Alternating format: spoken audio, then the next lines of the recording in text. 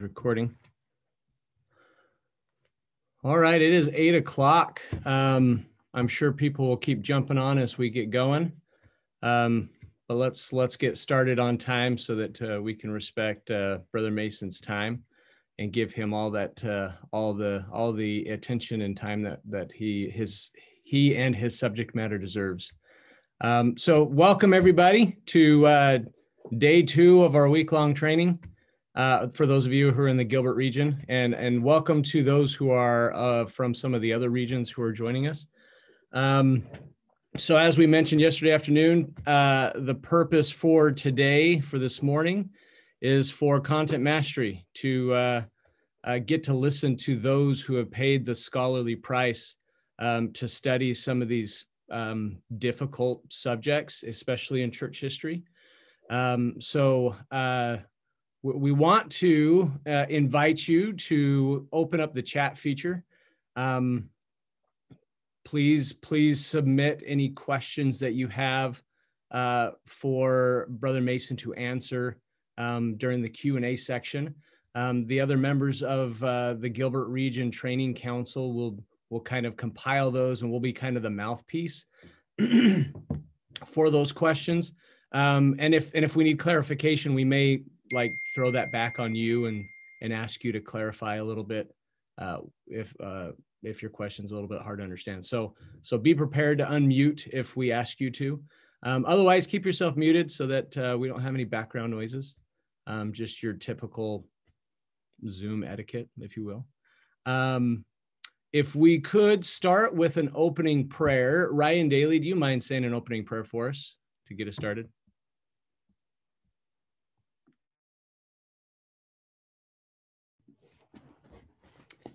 Dear Father in heaven, we are grateful for this opportunity to come together. Um, we're grateful for the technology that allows it to happen. Um, we pray that the Spirit will be able to um, touch our hearts in a way that um, draws us closer to, to Thee and to Thy Son.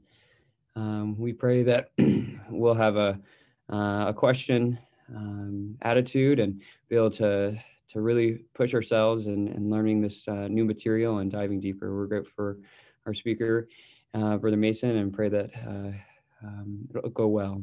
We love thee, Father, and we say these things in the name of Jesus Christ. Amen. Thanks, Ryan. Um, so we're going to ask you to kind of consider a couple things. Um, just kind of let this float in the back of your mind. Uh, we'll we'll debrief when we get back to the building um, at 10:30. Uh, but I want you to consider some questions that you currently have um, about the subject matter that uh, Brother Mason's going to share with us. Um, pay attention to the questions that maybe you you have. How how were they answered, um, and and in what way is this going to help you um, uh, in the classroom? So just kind of consider some of those things. So I want to introduce uh, Brother Mason. this is this is his bio right off of the uh, Utah State University webpage. So um, this is this is what it says. It says Patrick Mason is the author of several books for Latter-day Saint and academic audiences, including the recent titles "Restoration: God's Call to the 21st Century" and "Planted: Belief and Belonging in an Age of Doubt." Um, and if you want a taste for his newest book for for restoration, there's a really great podcast on LDS perspectives where um, Brother Mason talks about some of the ideas in that book. Um, he holds the Leonard J. Arrington Chair of Mormon History and Culture at Utah State University, where he is an associate professor of religious studies and history. He consulted with the Church History Department on the Gospel Topics essay, Peace and Violence Among the 19th Century Latter day Saints, and is the author of two books on the subject Mormonism and Violence, The Battles of Zion, and Proclaim Peace the restoration's answer to an age of conflict, which will be forthcoming later this year. Um, and at this point, we'll kind of turn the time over to you, Brother Mason, uh, to kind of uh, share what you feel like a bunch of religious educators would benefit most from uh, as we look down the barrel of the second half of Doctrine and Covenants. Right. Thanks, uh, Brother Anderson. Appreciate it. And thanks for having me. Uh, appreciate the invitation. I'm uh, grateful for the time difference. So it's nine o'clock here rather than eight o'clock. That was a little uh, act of mercy. Uh, so um, uh, it's it's really good to be with you. And one of my former students is is among you, Mason Isom. So hello, Mason. Um, but I'm I'm I'm grateful to to be here talking about this topic here. Let me I'm going to share my screen here.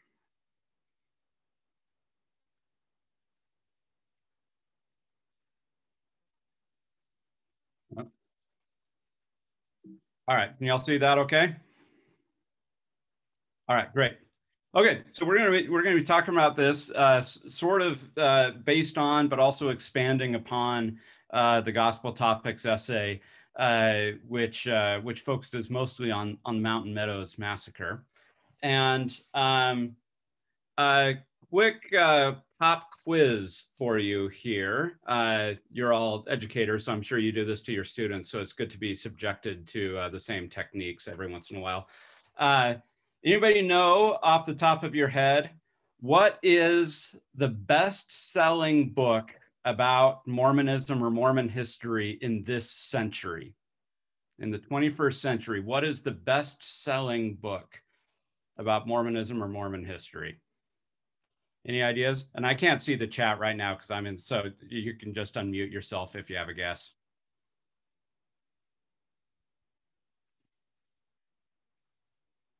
Or I can look at the chat. Okay, so we've got a guess, uh, Massacre at Mountain Meadows. Excellent book, uh, but not the right answer. Any other guesses? Best selling book about maybe maybe Bushman's Rough Stone Rolling. Bushman's Rough Stone Rolling is uh, probably the top selling title by an LDS author. Uh, so great guess. Also not the correct answer. Anyone else? No Man Knows My History by Fawn Brodie. Uh, it still continues, even though it was published in 1945, continues to be a big seller. Uh, not the right answer. All right. So to so to keep you from being tortured any longer. All right. Here here's the answer. Okay. And this is this is this is part of the um, the reason of why we're even going to talk about this. The number one best-selling book about Mormonism in this century is Jon Krakauer's book Under the Banner of Heaven. I don't know if any of you have ever uh, read it, but Krakauer's book it for it was published in 2002 2003 somewhere around there right at the beginning of the the new millennium. Uh, it continues to be you know even 20 years later it's consistently in the top five sellers uh, all the time uh, if, if you look at the amazon lists of, of top sellers and it has consistently been so for the past 20 years. So it's easily the best selling book uh, about uh, about Latter day Saints and, and our history in this century. Now, who's reading it? Mostly non LDS people. It's assigned in a ton of classrooms. It's, it's read by a lot of people. It, for I, am guessing that for a lot of people, if they've only read one book in their lives that have to do with Mormonism, it's probably this one. Uh, and what does Krakauer do? Well, Krakauer focuses on, um, he, he uses uh, the church's history uh, and specifically, he, he, he alternates between the church's history and then a contemporary story of Ron and Dan Lafferty and the Lafferty murders from the 1980s, um, in which they were inspired by their uh, faith in uh, uh the, the, the, church and their understanding of restoration scripture. Uh, and their own personal revelations, what they thought were their own personal revelations to, to murder a number of people. Uh, and so Krakauer tells this story, and he tells it as a cautionary tale for him. All of he, he always says, you know, I never set out to, to, to write a book about Mormonism. Uh, he wanted to write a book about religion and violence. This was right after 9/11. Everybody was talking about religion and violence, you know, uh, after those terrorist attacks. So he said, I wanted to write a book about religion and violence. And what was the case study that he used? He used Mormonism. And so, so tens of thousands, hundreds of thousands of readers. I don't know exactly how many copies of this sold, uh, but uh, lots and lots of people all around this country, all around the world, their exposure to Mormonism uh, has been through this book, Under the Banner of Heaven, which basically argues that, that Mormonism as a revealed religion is especially prone to violence. And you can see what Krakauer says here. He says that faith is the very antithesis of reason, injudiciousness, a crucial component of spiritual devotion. Common sense is no match for the voice of God. So, what Krakauer really has a problem with, and what he thinks is really dangerous, is this idea of revelation. This idea that God can talk to anyone, anytime, whether it be a prophet, whether it be an ordinary person like a Ron or a Dan Lafferty, and that that voice of God that somebody hears in their head might tell them to go kill somebody. And he uses the Nephi story. He uses a number of examples from LDS history. And he says that is what's dangerous about religion. He says at that point, all the ethics, all the rationality, all the common sense, all the laws in the world don't matter because somebody believes that the voice of God is telling them to do something. So this is the number one way. I, I don't think a ton of people inside the church are reading this book necessarily, but but people outside the book. This is, um, I, I, think it's this and the Book of Mormon musical, frankly, uh, which are which are the, uh, uh, the, the, the two most popular things that you know in terms of how how people get to know uh, Mormonism. So maybe not the most flattering accounts of us, but this is the reality. Uh, the other thing is that um, this idea that religion is inherently violent is central to the new atheist critique of religion in general, not necessarily just of our church and our religion, but of religion in general. And so Christopher Hitchens was, was one of the most prominent and pugnacious of the new atheist authors who was constantly attacking religion. Uh, one of his last books is called uh, "God is Not Great: How Religion Poisons Everything." So he's he's being nice and subtle there. I'm not exactly sure what his take is, uh, uh, but his chapter two in that book is called "Religion Kills." Also, not exactly very subtle. And so, at the heart of the atheist critique of religion in the 21st century is the idea that religion is inherently violent. Uh, and so, so I think as religious educators and as people of faith, we have to be aware of this. Now, now this may not be the, the conversation that's happening every day or every week, you know, uh, with within our classes or within our uh, within our wards. Um, uh, because of course we know better. I mean, we, we, we know that that's not the way that, that our religion works on a day-to-day basis, but this is the perception by many, many people uh, you know, who are reading books and and you know out, outside of our religion. And so I think we have to be aware of that.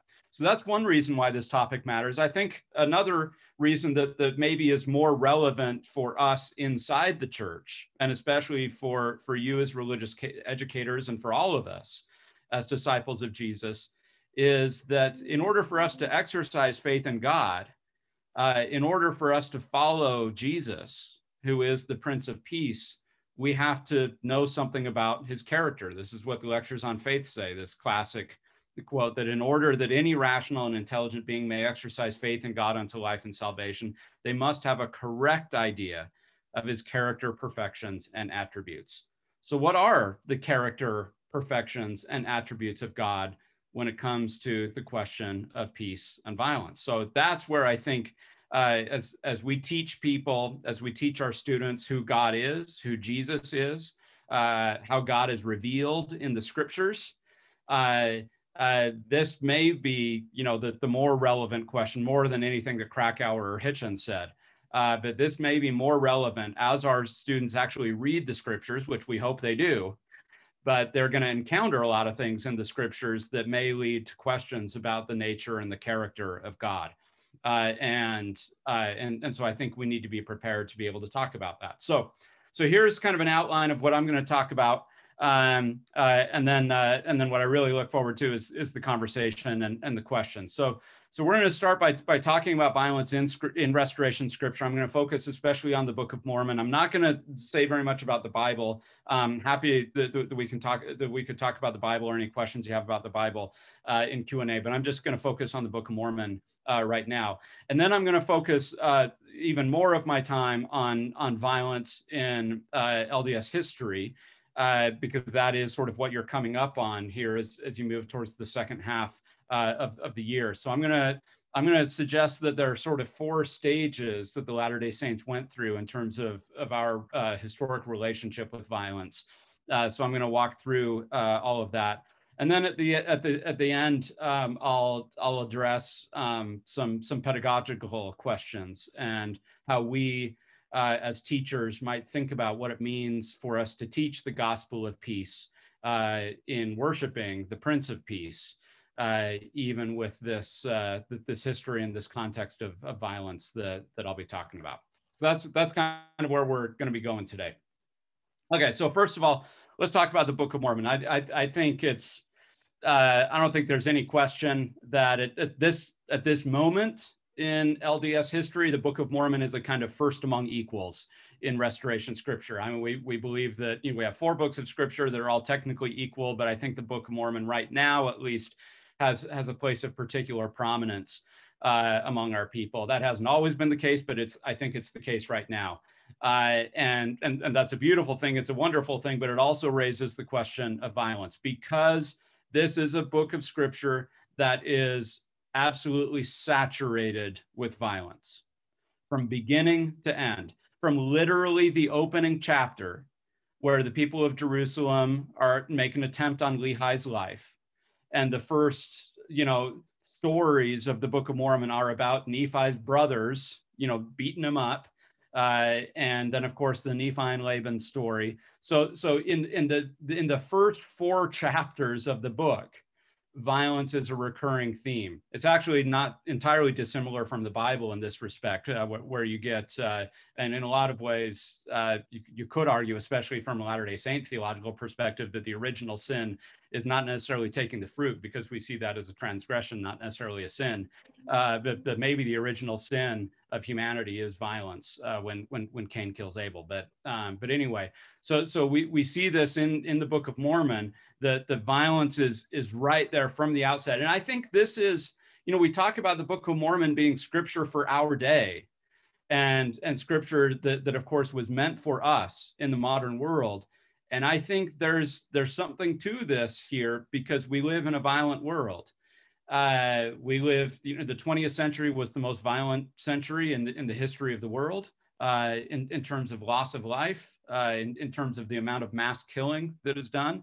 Fortunately, we haven't had any world wars or anything like that in the 21st century, but this century began with the terrorist attacks in New York and Washington. And uh, we, we've just gone through almost two decades of war as a country in Iraq and Afghanistan. Uh, and then you think you look at what's happening all around the world in different places, you know, recent troubles in Jerusalem and, and Palestine uh, and places. So, so we live in a world of war.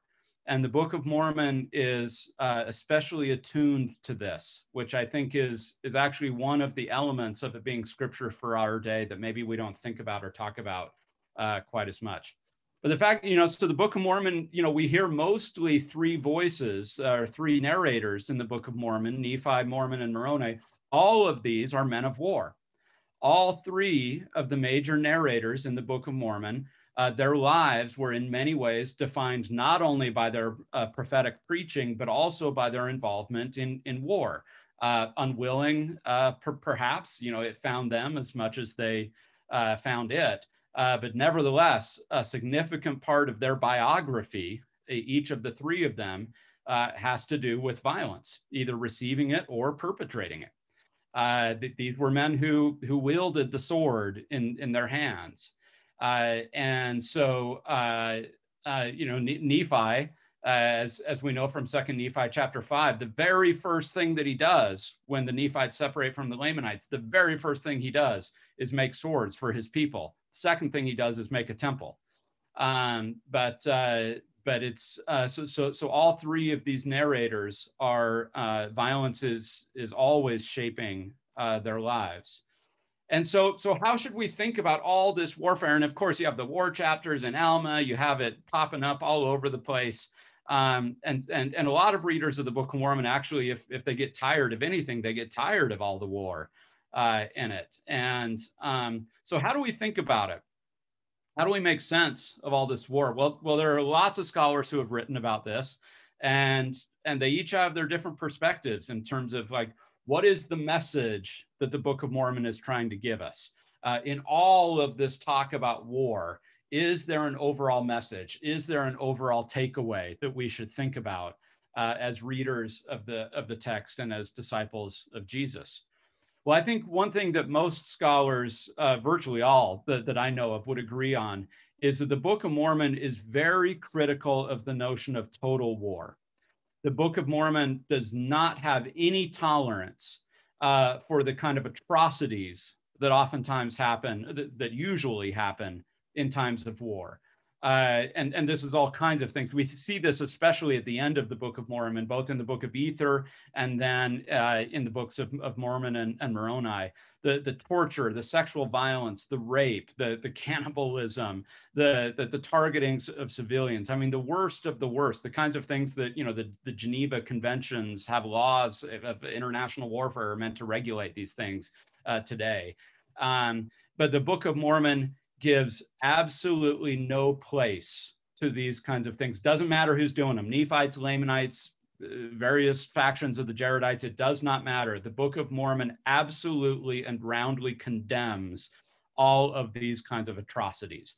There is no room uh, in the Book of Mormon for anything like total warfare. Uh, and, and, and I think it's uh, and, and again, I, uh, most scholars uh, would would agree on that. I actually don't know of anybody who would who would disagree with that. Um, but then after that, then there is some disagreement as to as to what the message of the Book of Mormon is and what kind of warfare, what kind of violence it it allows for. Uh, there's at least one scholar uh, that I know of who argues that the Book of Mormon uh, gives uh, a doctrinal basis for preemptive warfare, what was known as the Bush Doctrine in the early 21st uh, century. This idea that, that sometimes you have to use preemptive, excuse me, preemptive warfare, that you have to kind of go on the offense in order to protect yourself. Uh, that, that, you might have to invade other countries in order to protect your own. Uh, and, and this scholar pointed to some of the tactics and strategies employed by Captain Moroni and, and some of his lieutenants in arguing that the Book of Mormon uh, makes the case for preemptive warfare. I'm not so convinced by that, and, and I haven't seen a lot of other scholars follow in, in that lead, but, but at least one scholar made a serious argument for that. What I think that the majority of people who read the Book of Mormon and scholars who write about the Book of Mormon, the, the place where they land is that the Book of Mormon argues for something like the just war tradition. I won't go into all the details of what that means uh, in terms of sort of Christian history and, and European history and so forth. But, but essentially, the just war tradition is this idea that there should be moral guidelines for when is it when it's appropriate to fight a war and how a person or, or how a country, how a group should fight the war. So when and why and, and, and how uh, a war can be justly uh, fought, recognizing that, that oftentimes war is unjustly uh, done and, and there are all these atrocities. But, but how and when can it be just, especially for a Christian, uh, to, to enter into war. And, and, and this is where most people point to Captain Moroni and, the, and those famous passages in places like Alma 43 and Alma 46, uh, I think Alma 48, um, where, where it talks about you know protecting the family and, and, and religion and their rights and their country and, and their liberties and so forth. This is you know kind of title of liberty uh, type stuff. And so a lot of people have, a lot of scholars have gone into detail and says, you know, this is basically the message of the Book of Mormon. That, that for the most part, you know, war is bad. Obviously, we don't do the atrocities that are oftentimes associated with it, but there can be times when when warfare is necessary and just, especially in self-defense. Uh, and and the Captain Moroni example is is the way to think about that. Um, but there's also a whole other way to think about the Book of Mormon that uh, more and more people, and I'm I would be included in this group, uh, are seeing the Book of Mormon uh, less as an endorsement of violence or of certain kinds of war, but rather as a prophetic warning against it and uh, and and reading the book as as a book length treatise on the futility of war.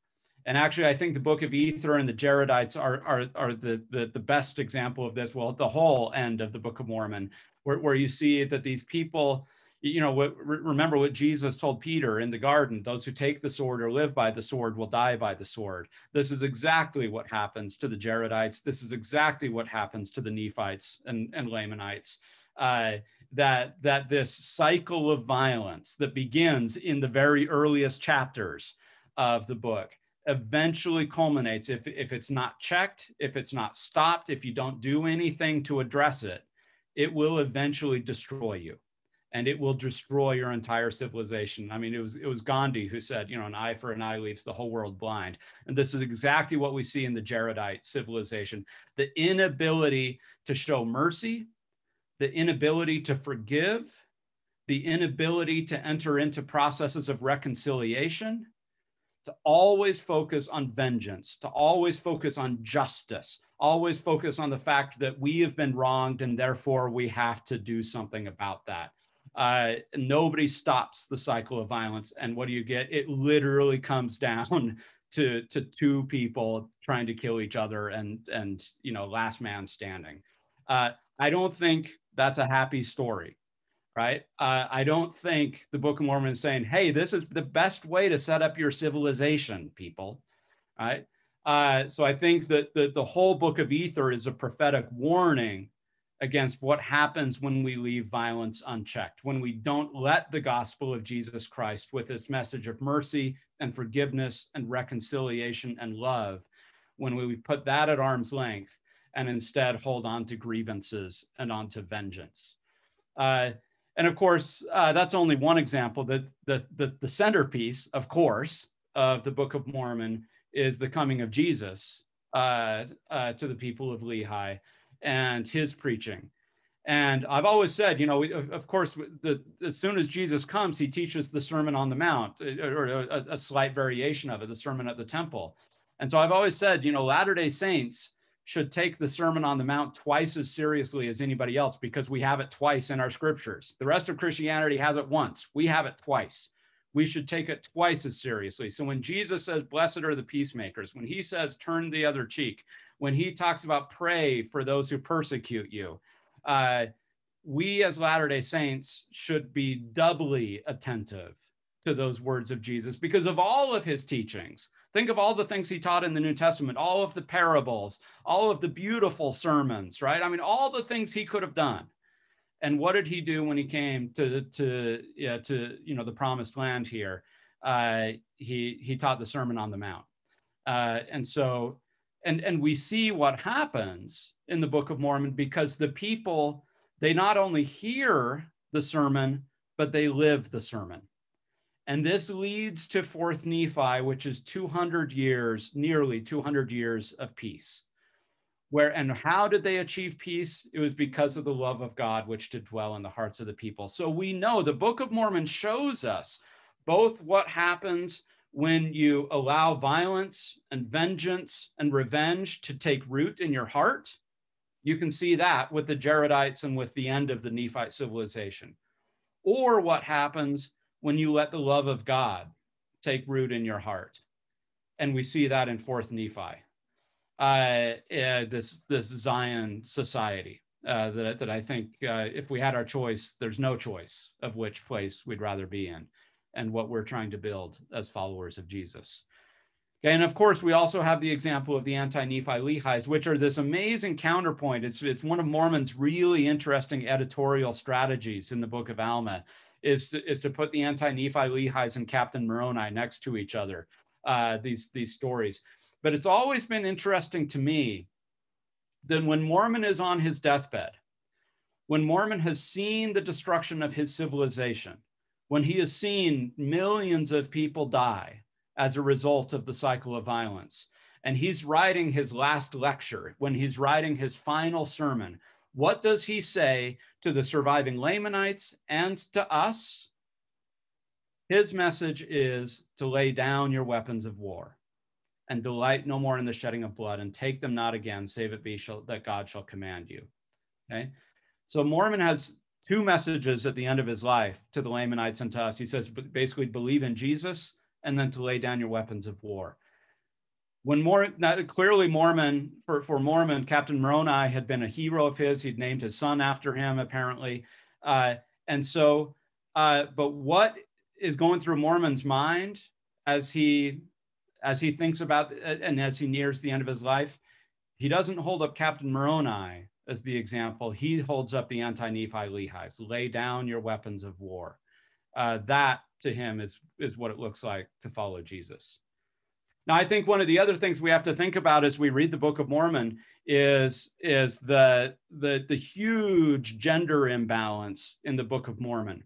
Uh, and I think more and more of our students are noticing this, more and more of, of, of especially uh, the, the girls in our classes are noticing this. Uh, and I'm glad they are. I'll never forget I had, uh, when, when I taught down at, at, Claremont, I had Sheri Dew come and she gave a big public lecture to, to a few thousand people there in one of the big auditoriums there. And she, she talked about women in the priesthood, but, but then she did a Q&A session afterwards. And one of the questions that came up is, uh, why are there so few women and so few women's voices in the Book of Mormon? And it was so great. She, she got the question on a note card. She read it out loud and without skipping a beat in front of these thousands of people, she said, why are there so few women in the Book of Mormon? Because it was written by men, duh, right? And and so there is one of the things we see in the Book of Mormon is it's a very male-centric text, even more than the Bible. Um, and and a lot of scholars, an increasing number of scholars, are are are saying, is this uh, society that seems to focus uh, on men's experiences and be so androcentric.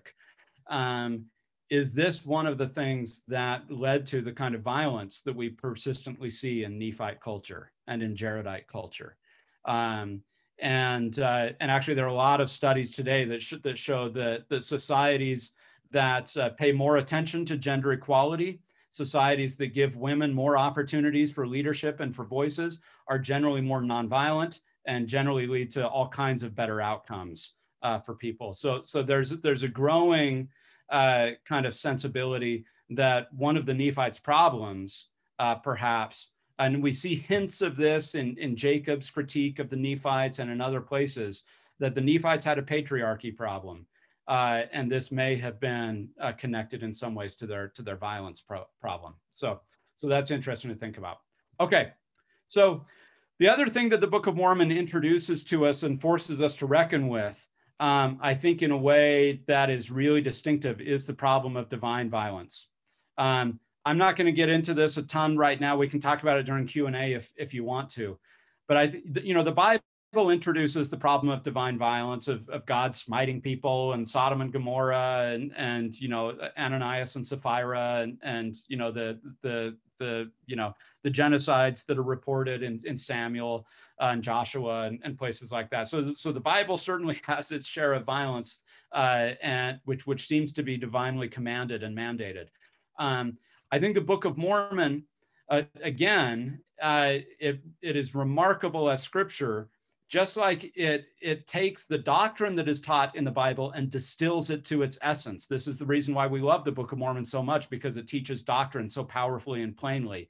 I think it also introduces theological problems to us plainly and uh, straightforwardly. And i think one of the theological problems that it introduces to us is the problem of divine violence. Does god commit violence? Does god kill people? And does god tell people to kill people and I think the Book of Mormon distills this question to its essence. First of all, in the Nephi and Laban story, where he says, I was constrained by the Spirit to do what he did, to chop off Laban's head.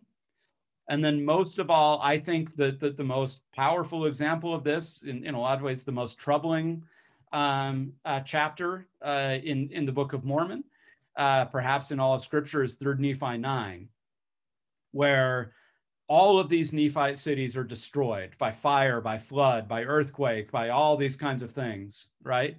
And it's not just saying that it happened, but Mormon reports some, somehow he had access to the first person of Jesus, and it specifically says it's Jesus. It's not the Father, it's Jesus saying, I did this.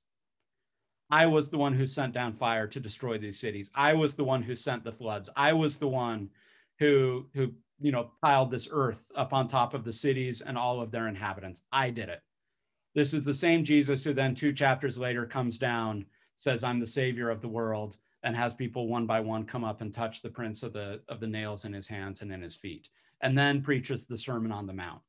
So within the space, of, so, so you've got Jesus killing people in 3rd Nephi 9, and you have Jesus teaching the Sermon on the Mount and saying, Turn the other cheek, and blessed are the peacemakers, three chapters later. So this introduces in as concentrated form as anywhere else we have in scripture this challenge and problem of divine violence. And I think a lot of our students notice this, right? They may not quite have the words to articulate why it's a problem. Um, but I hope we pause when we read 3rd Nephi 9 and recognize that this is a chapter that we have to we have to deal with. And I think there are lots of approaches, lots of ways that we can think about it and deal with it. Again, I'm happy to talk about it a little bit more uh, later if, if that's something you're interested in.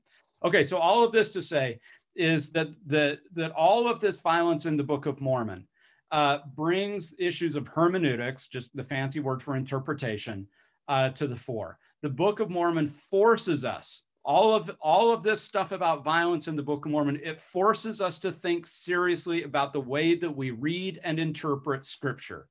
It's almost as if it grabs us by the lapels and says think about this stuff people right? I mean it's it's not just one or two episodes of violence. It is throughout the whole book. It is forcing us to reckon with us and I'm going to talk about some of this at the end in terms of these things of, of, of reading descriptively versus, versus per, uh, prescriptively, of thinking about the fallibility of scripture and prophets, uh, thinking about intertextuality, the way the different texts bounce off of each other, and, and then what, what we do to interpret scripture. So I'm, I'm going to save all of this to, to, to, the very end, but just to, to kind of uh, get you thinking about this. But I think the Book of Mormon, as scripture intended for our day, that one of the purposes of the Book of Mormon is to force us to be better readers of Scripture. It doesn't, it, it, we can be lazy readers of Scripture, but the Book of Mormon doesn't want us to be lazy readers of Scripture. It wants us to be engaged. It wants us to be morally and ethically engaged. It wants us to be discerning readers. It wants us to wrestle with this, just like Jacob wrestled with the angel. The Book of Mormon wants us to wrestle with with the text. And and uh, and to seek wisdom uh, and I'll, I'll talk a little bit more about that. Okay so that's that's the book of mormon. I have lots more to say about that but that's that that'll do so we can move on to to history. Okay so what i want to do here is is narrate my view um, uh, and i've spent a lot of time thinking about this and researching it but uh, but other people could disagree with me. Um, this this is my view of the way that violence played out in LDS history, especially in the 19th century, but then with a legacy into the 20th century. I see four stages of the way that the early saints um, in the 19th century engaged with, with violence. And the first, excuse me, the first of these stages is essentially pacifism.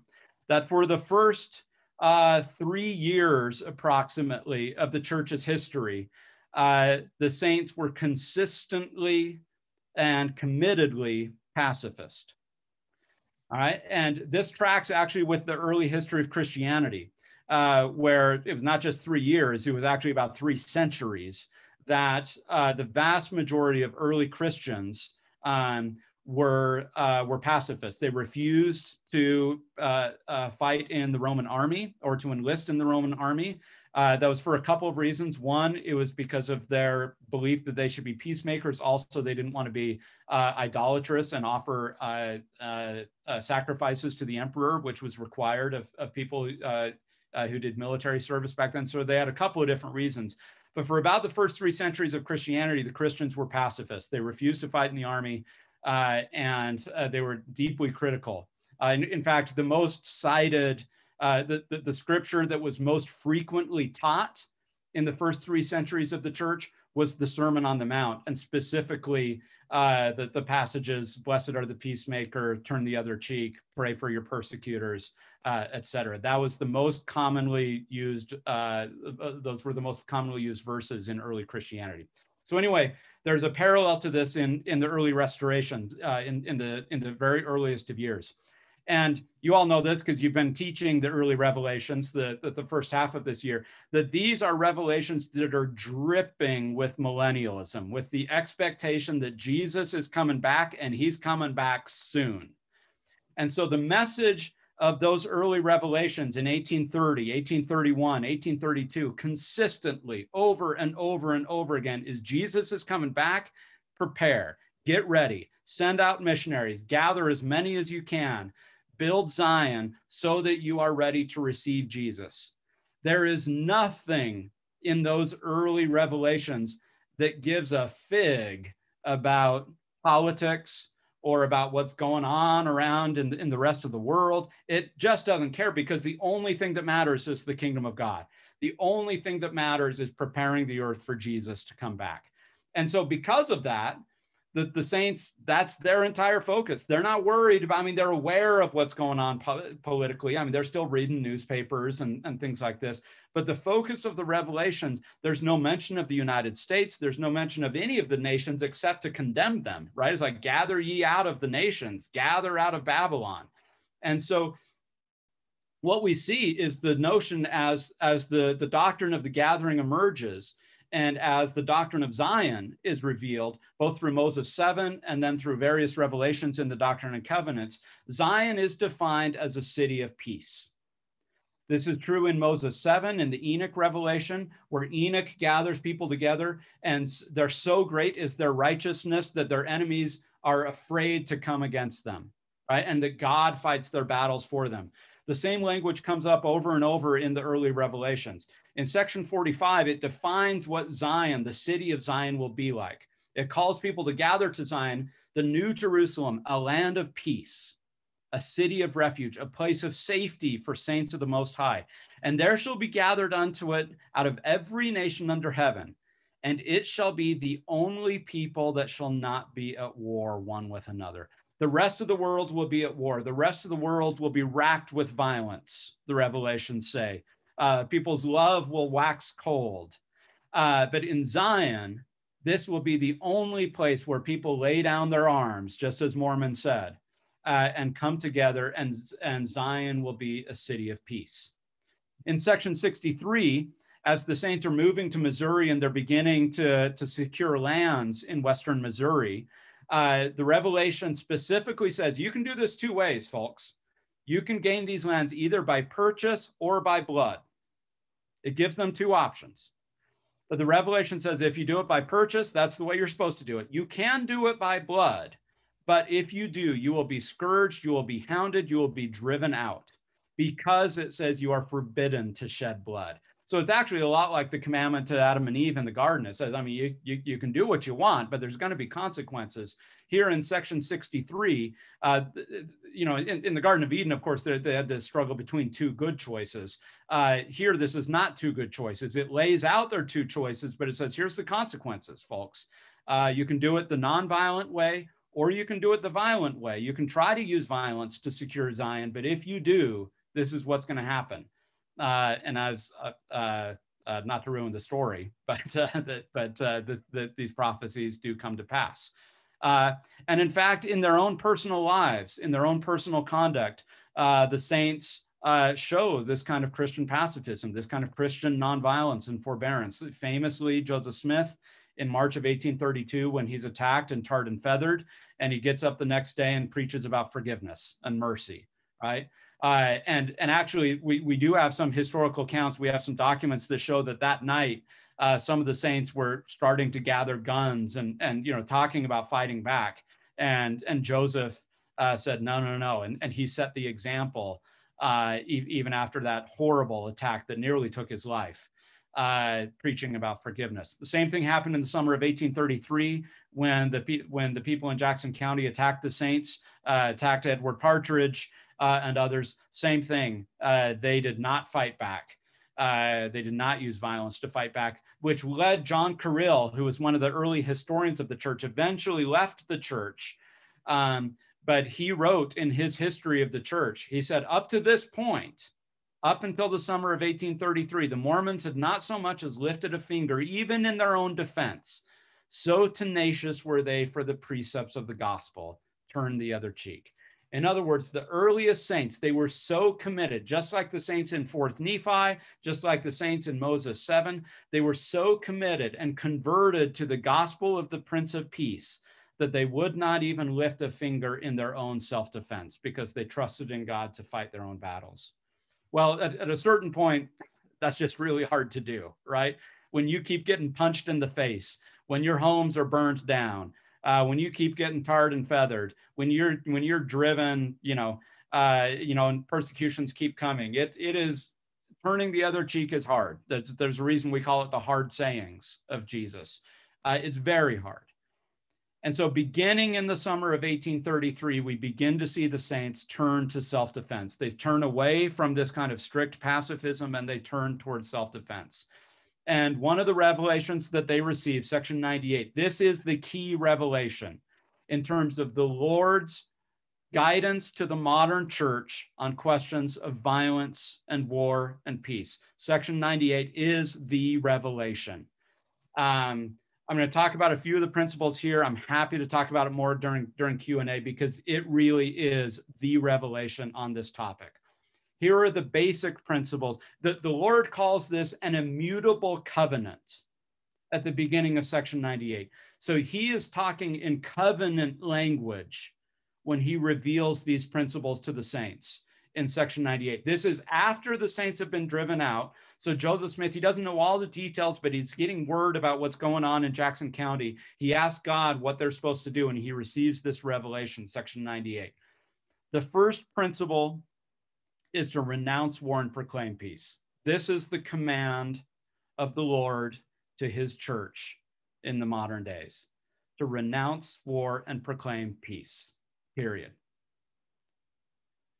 Then he tells, he, he outlines two different laws one, a law for individuals, and one a law for for family or for, for groups. One is for individuals and families one is for groups and nations okay? The principles are very similar. There there's some slight de- uh, slight differences between the two but the overall principles are very similar. The lord tells the saints that when they are attacked they are to bear it patiently okay?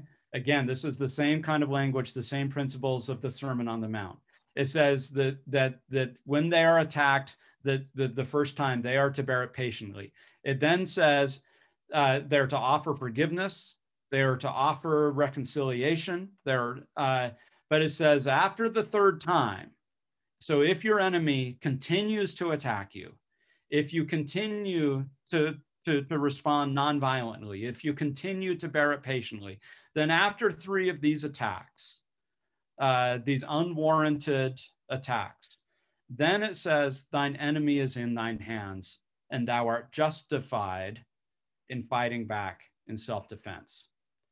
Now, I think this, and, and, and the, the revelation uses this language of justification over and over and over again. If you, if you look at those verses in section 98, this is kind of in the middle of the section it uses the language of justified and justification over and over and over. This is not just kind of a one off word that's used casually. This is an intentional word that the Lord uses over and over and over again justified, justified, justified. I think this is, takes us into theological territory. What does it mean for something to be justified? And this is where we have to think about uh, Pauline theology, especially from the New Testament. And you all know this the difference between justification and sanctification. They're different, they're related concepts, but they're different. What does it mean to be justified? It means that an act or a behavior that is inherently wrong is made right through the mercy and grace of God, through the atonement of Jesus. So, for an act to be justified, it means that the act itself was originally not righteous. It has to be made just through God's grace.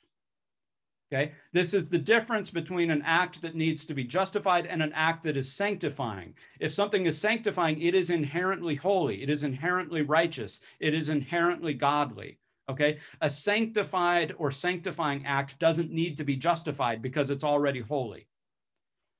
But a, an act that has to be justified, and, and, and Paul lays this out, especially in the epistle to the Romans, but in all of his theology, we are justified as sinners We are justified by the grace of Christ. It does not mean that our actions, our sins are righteous.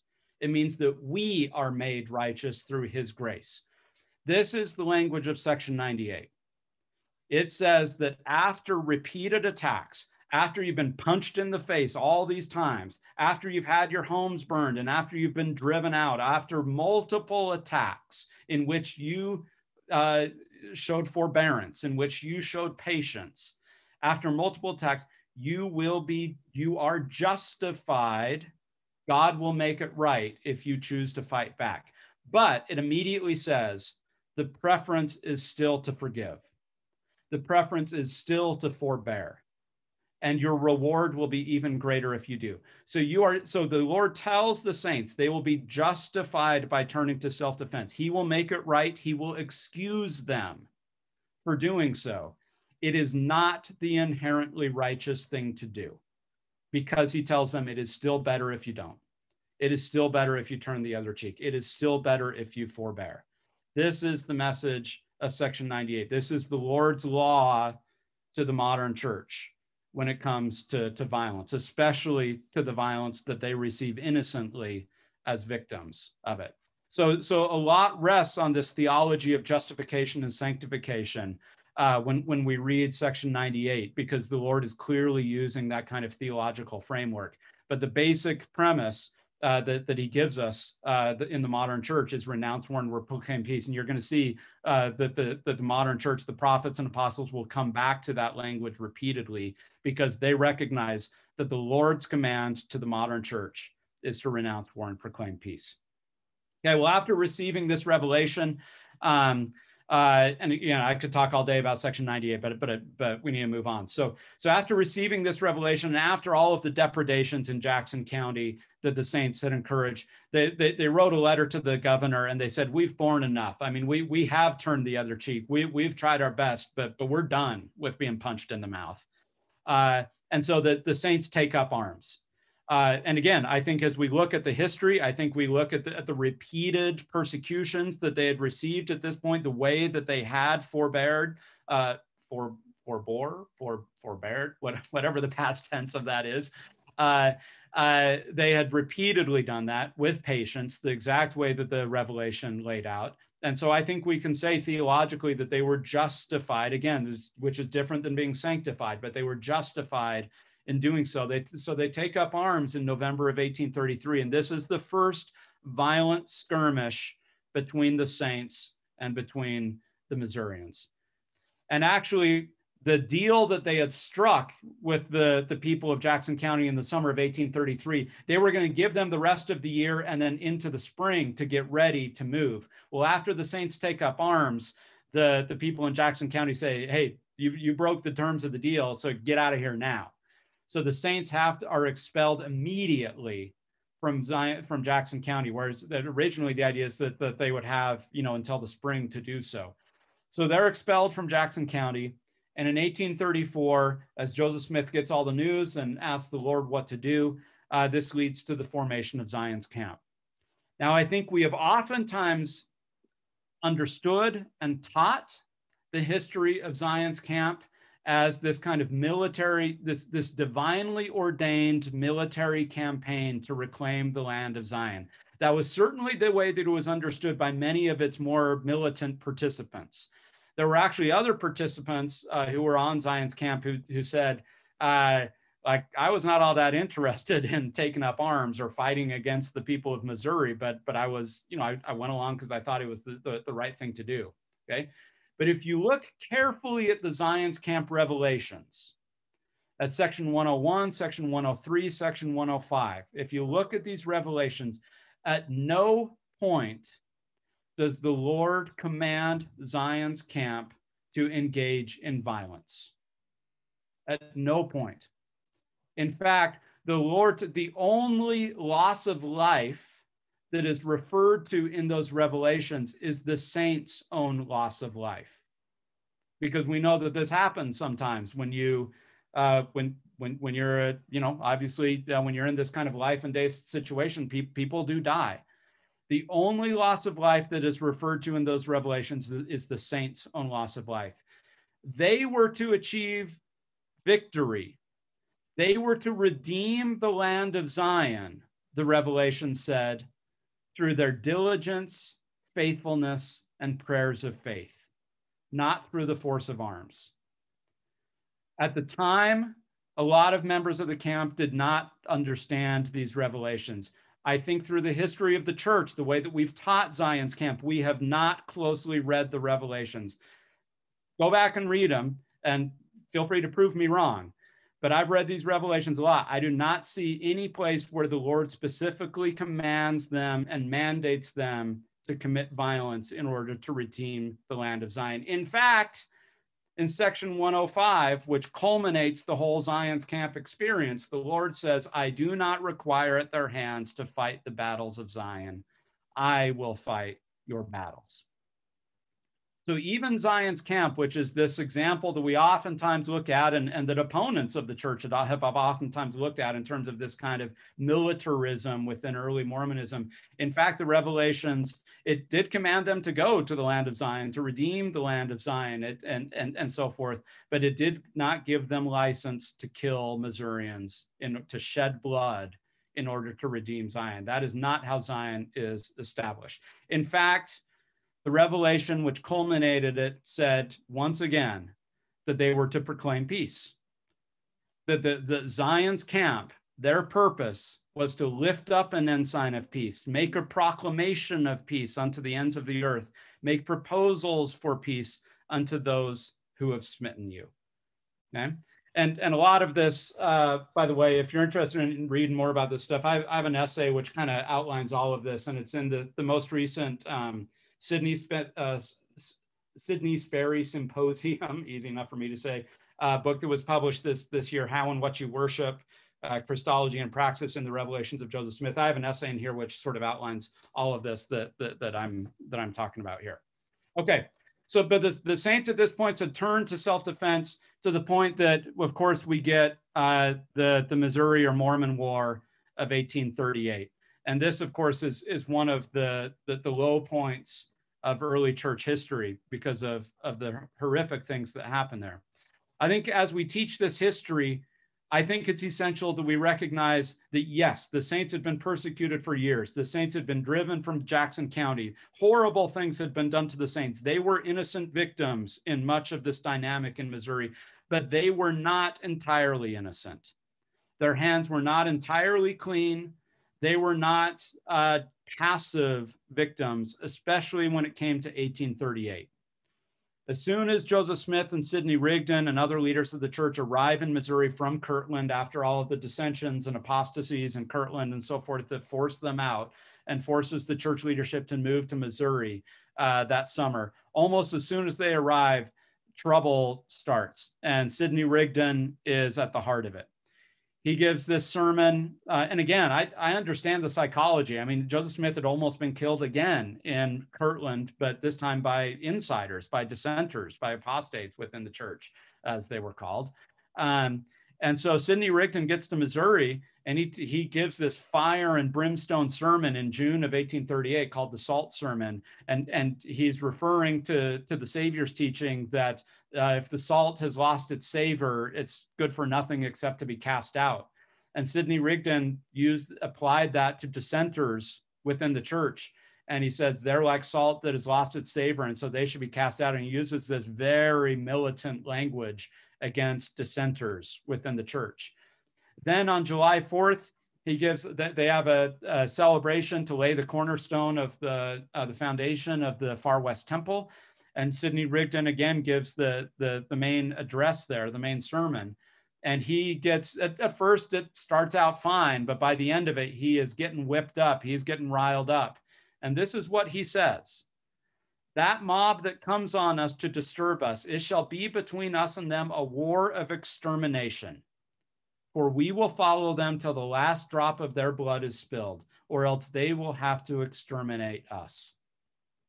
We oftentimes talk about Governor Boggs' extermination order and how horrible that is, and it is horrible. There's nothing like it in the entire history of the United States, where the chief executive of a state issued an extermination order based on religious identity. There's nothing like it in, in all of US history where a religious minority, there's been official state sanctioned pogrom against them, an extermination order. So it is singular. Governor Boggs's name should live in infamy throughout US history.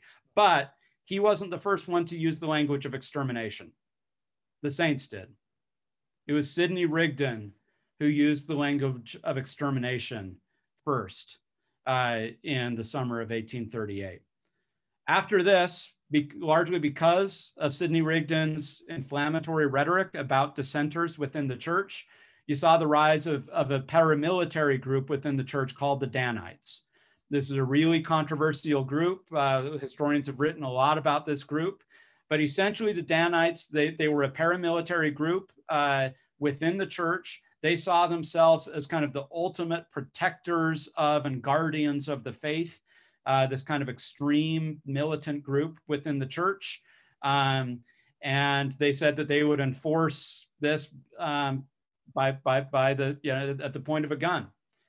And they wrote a Danite manifesto, which was aimed toward dissenters. They actually named a number of people and they said, get out of here, depart, leave your communities, leave your homes, or a more fatal calamity shall befall you. So the Danites were organized, first of all, with the idea of, of driving out and intimidating dissenters within the church.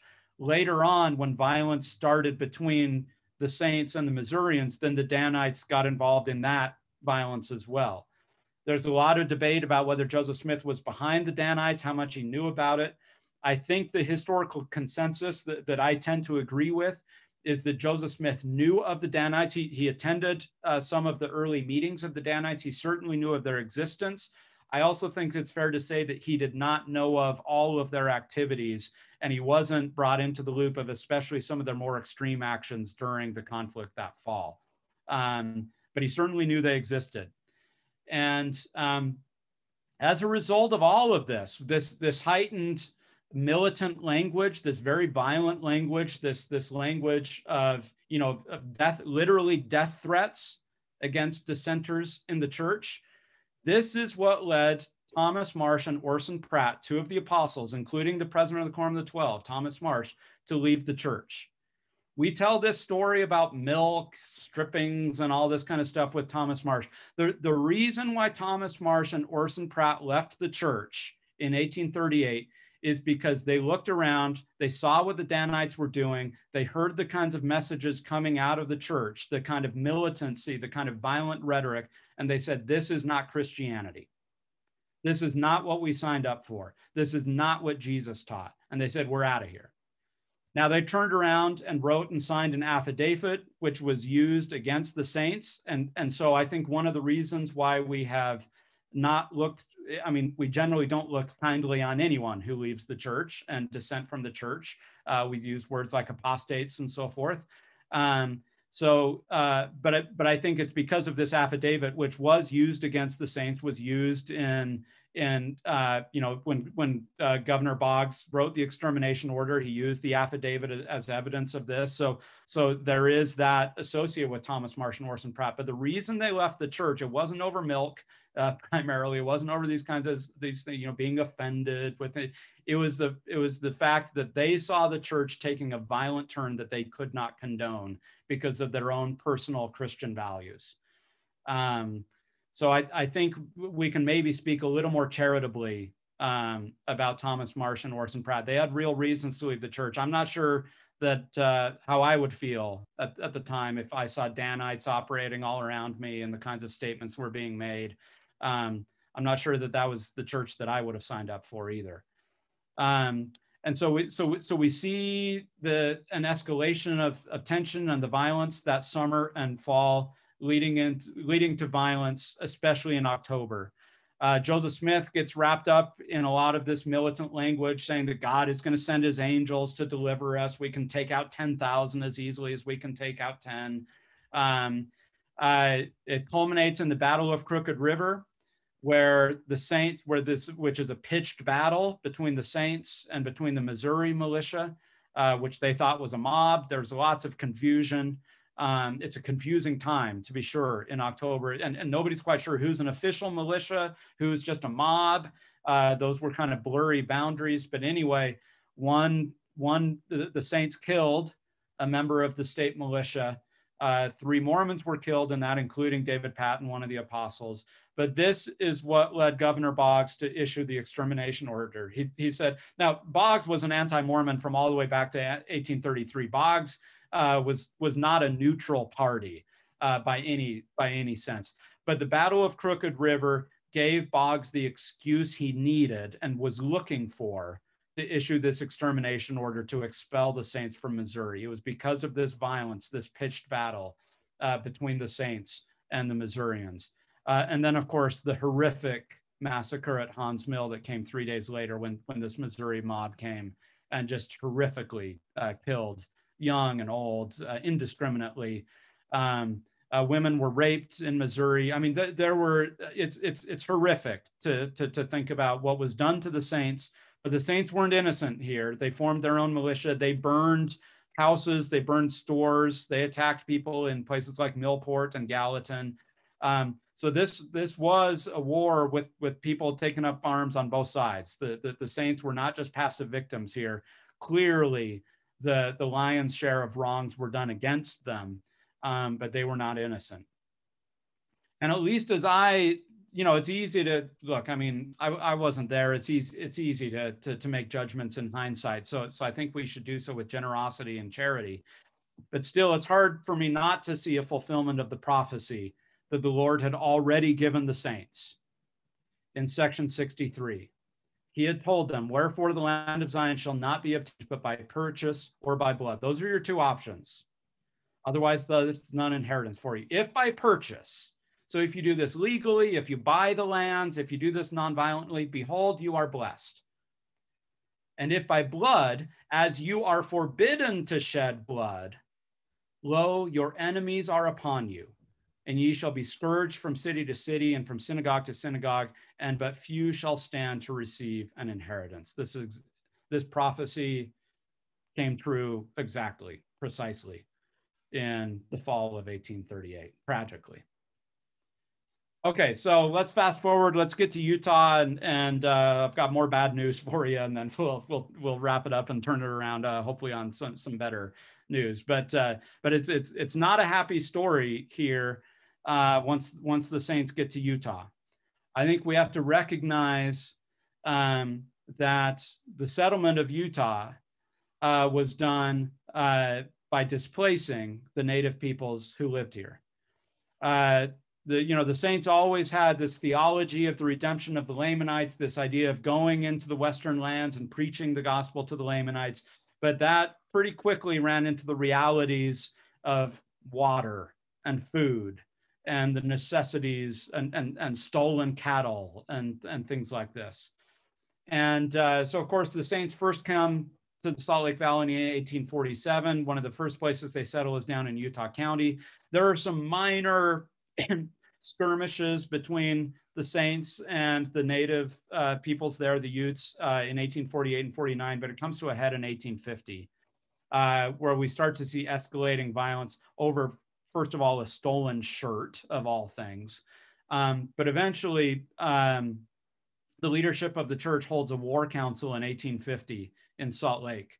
And Brigham Young says at that council, uh, so Parley Pratt, uh, who's in the council, is advocating uh, to get rid of the Indians, to exterminate them, again, using that language. And Brigham Young essentially says it's kind of us or them. They must either quit the ground or we must. If we don't kill those Lake Utes, they will kill us. And so uh, they send a militia down, they, they organize the military, and we start to see uh, organized violence uh, between the Saints and the native peoples that leads to some horrific things. That year, there was a massacre at a place called Table Rock, where 11 Ute warriors are killed, they're, they're executed. They had surrendered, um, and then they were executed. Uh, they were beheaded. Their heads are sent to Salt Lake for science. I mean, this is the kind of stuff that's going on. This is um, this is not happy stuff, and this is the beginning of the systematic removal of Native Americans from all the areas where whites wanted to settle. So they never, of course, completely got rid of Native Americans in, in what becomes Utah territory. Um, some people advocated for that, for, for, complete removal. That never happens, but they're removed to reservations out of the places where whites wanted to settle. Um, and so all of the, the various tribes uh, in Utah and in other places of, of, Mormon settlement, just like happened throughout the West. The Mormons are not unique here. Uh, this happens in every place around the West, wherever there are white settlers, uh, that the native peoples are violently displaced. And we oftentimes talk about how Brigham Young was more benevolent towards the natives uh, than, than other Western settlers, his policy that it's cheaper to feed them than to fight them. Well, he comes up with this policy beginning in 1853, 1854. In other words, after the Saints had already used violence to, to begin to displace the natives from the places where the Saints wanted to settle. So, so it is true that, that Brigham Young adopted a more benevolent policy and tried to, to promote good relations uh, between the Saints and the Indians. And on the whole, after this, that that that that is true, uh, but it's predicated on the fact that uh, that there could only be good relations between them if the Indians were removed from the places where the, the Mormons wanted to settle. And then you, you continue to see uh, sporadic conflicts and then horrific things like the Circleville massacre, uh, where 16 Paiutes are, are killed. And so, look, when it, when it came down to it, uh, you know, although, although the Saints had lofty ideas about the redemption of, of the Lamanites, there were occasional intermarriages. There were some who were converted uh, to the gospel.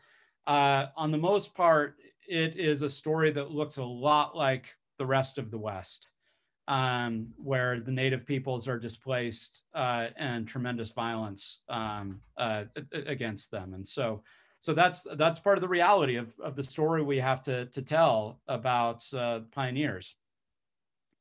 Uh, the 1850s was not a great decade, uh, I have to say, for uh, for, for, for, the Saints. A, a, lot of the, the things that, I, that I think um, are most regrettable of in our history are related to, to the 1850s. And part of that includes uh, not only violence against the native peoples of this region, but also violence against dissenters. Brigham Young, he, he would alternate. Sometimes he had very harsh words for dissenters, talking about how he was going to pull out his bowie knife and he'd cut their throats. Other times he would say, look, if you want to leave, just go, you know, like just just just go and and you've got my best feelings. So so brigham young as you all know he could be mercurial mercurial. Uh, he he was uh, he, could, he could he could use very violent rhetoric or or peaceful rhetoric. Um, there were a handful of dissenters who were killed here in utah territory uh, during the mid 1850s uh, jesse hartley um, the, the Parrish Potter murders in springville. Uh, you know and so, so there are a handful of cases um, where where dissenters from the church uh, are killed. Um, the best evidence we have, uh, we don't know as much as we'd like to. Uh, certainly, Brigham Young knew about a lot of these murders.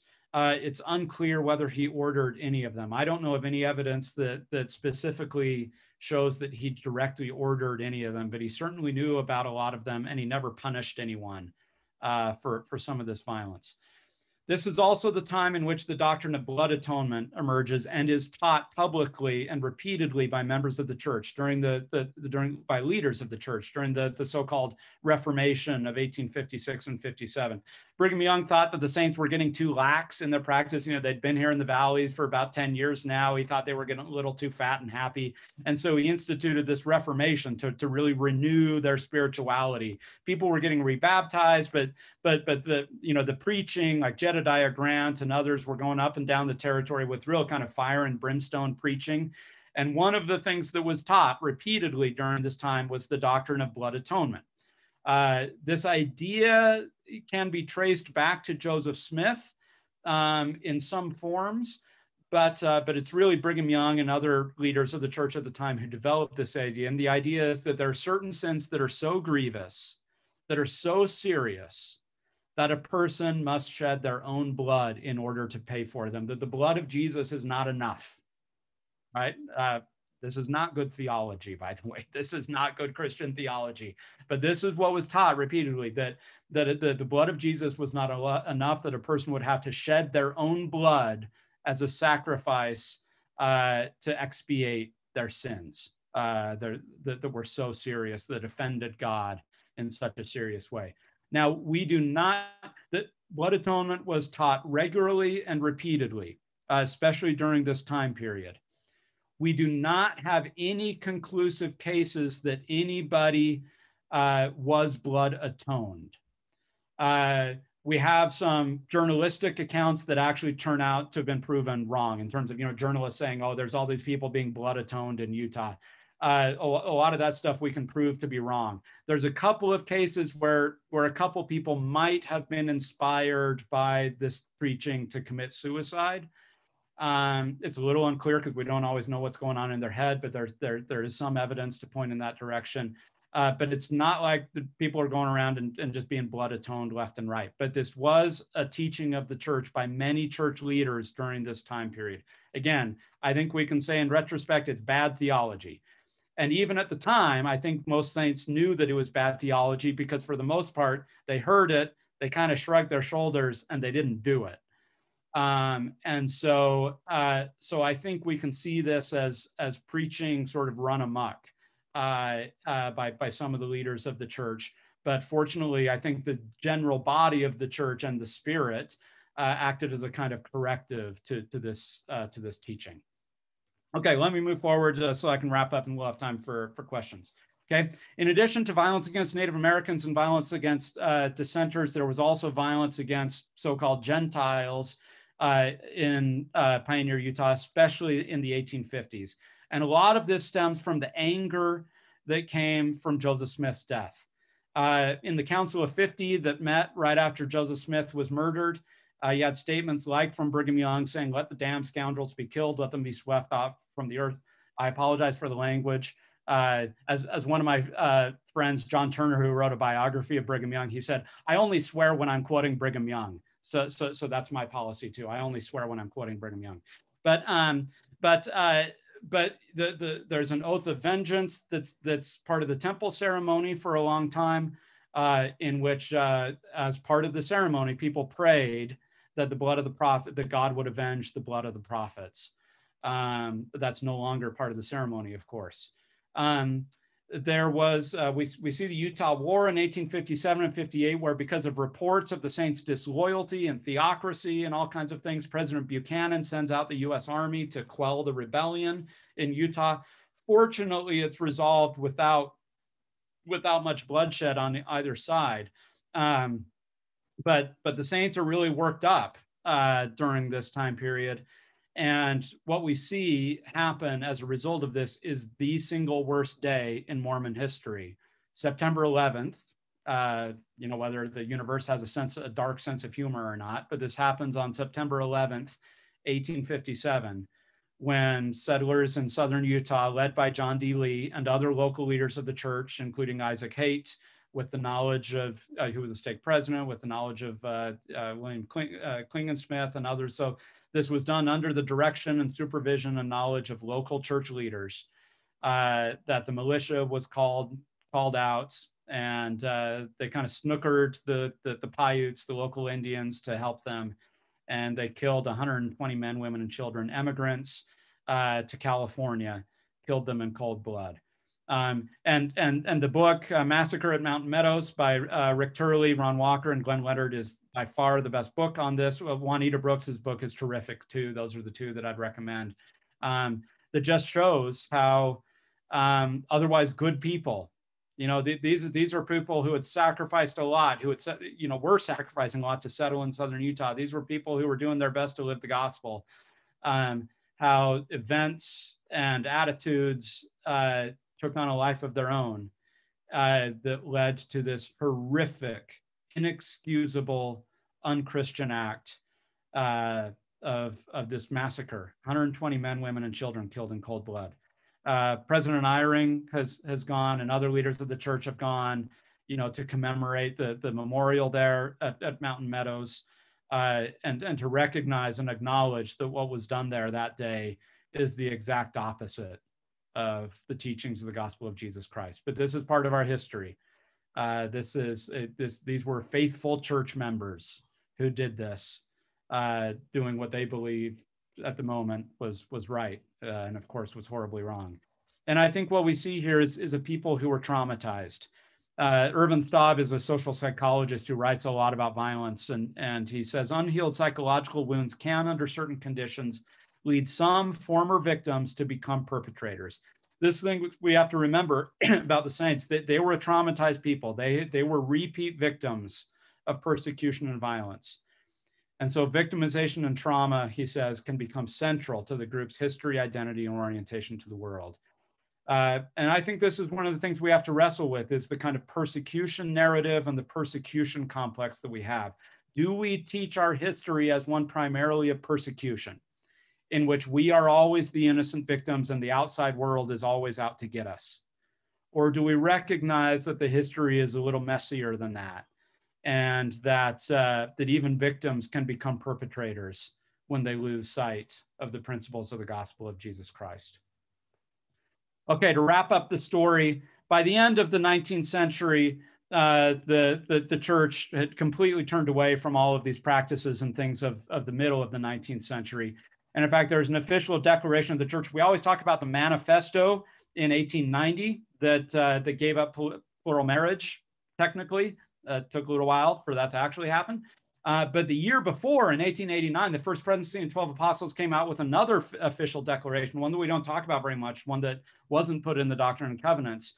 And this is the one, this is more about politics. And it says, we don't believe in theocracy anymore. We don't do that anymore. And it also says this church views the shedding of human blood with the utmost abhorrence. It denied that apostates had ever been killed in Utah. That was not entirely factually correct. Uh, they denied the doctrine of blood atonement. So it's the first presidency and 12 apostles specifically renounced that doctrine uh, that had been taught in the mid 19th century.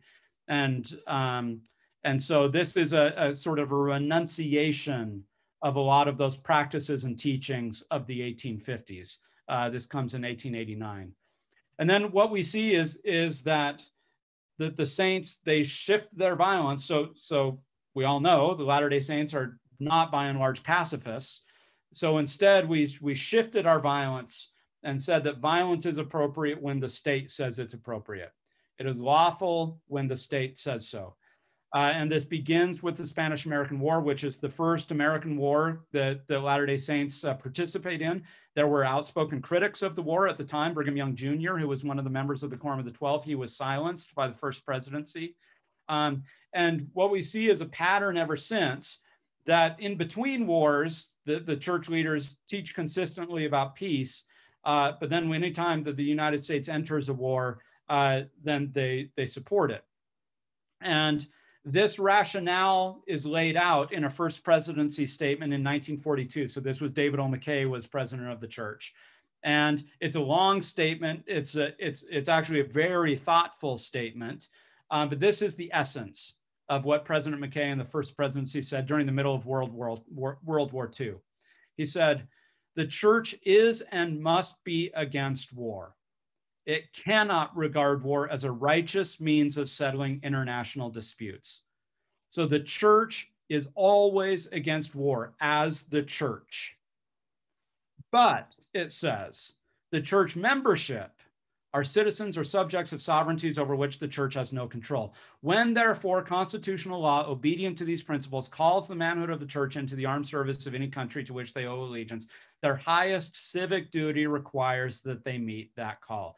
So, in this statement, which is the most definitive statement by the first presidency ever on, the, on these issues, it draws a distinction between the church itself, which must always be against war, as the Church of Jesus Christ, but then the individual members of the church, because they are citizens of nations and we believe in being subject, right? What is that? The 12th article of faith, 11th, whatever it is.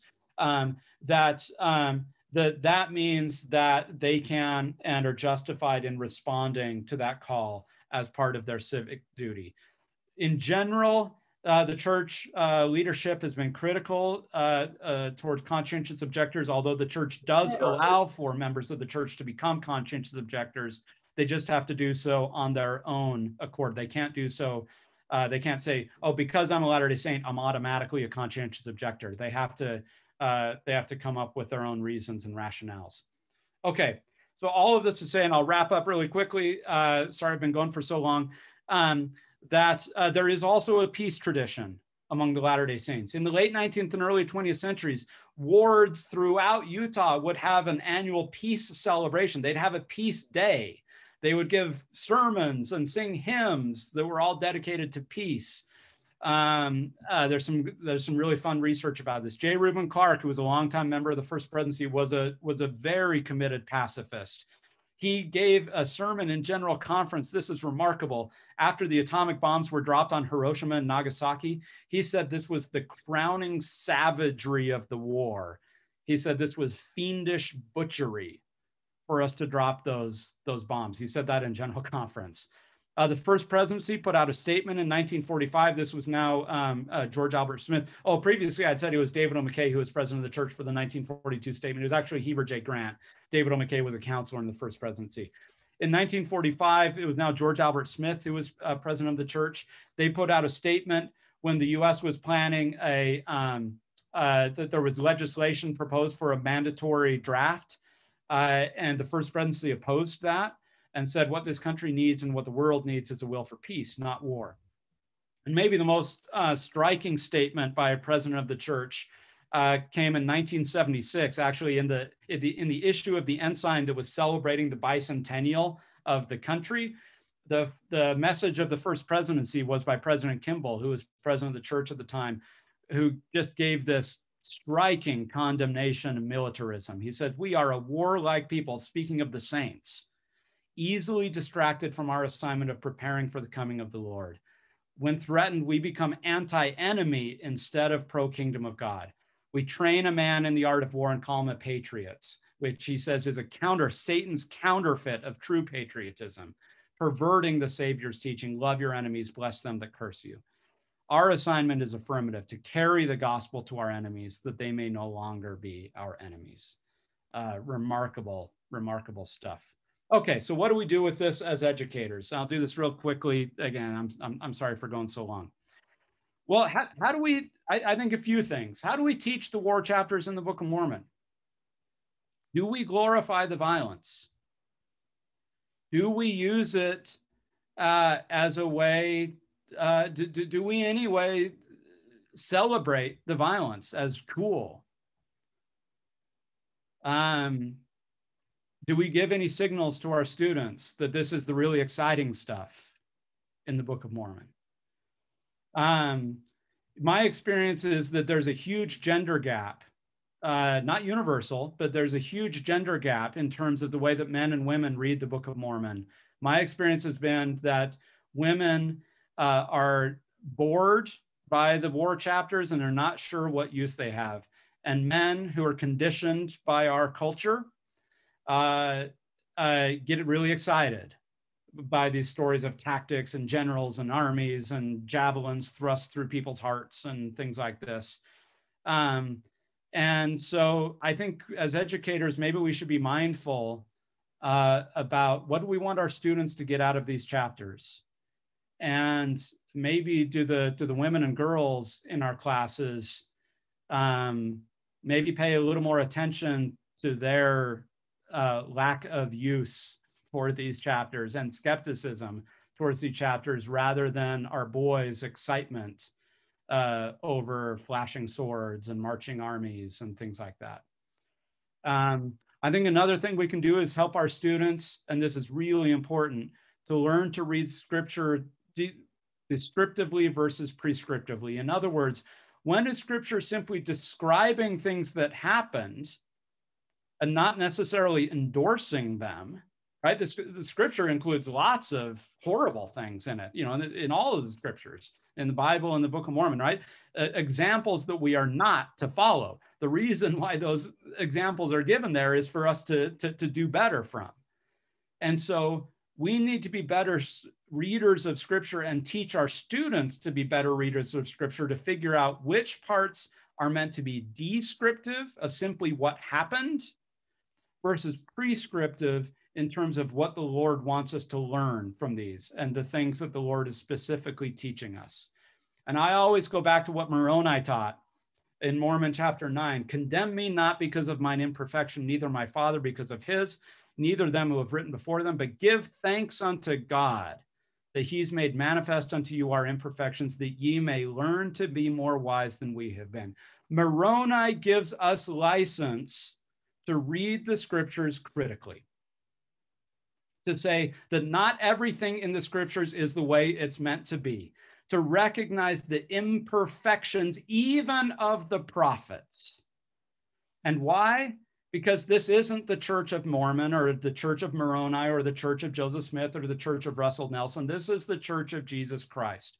And so we are given scriptures to learn not only what we're supposed to do, but also to learn from their mistakes.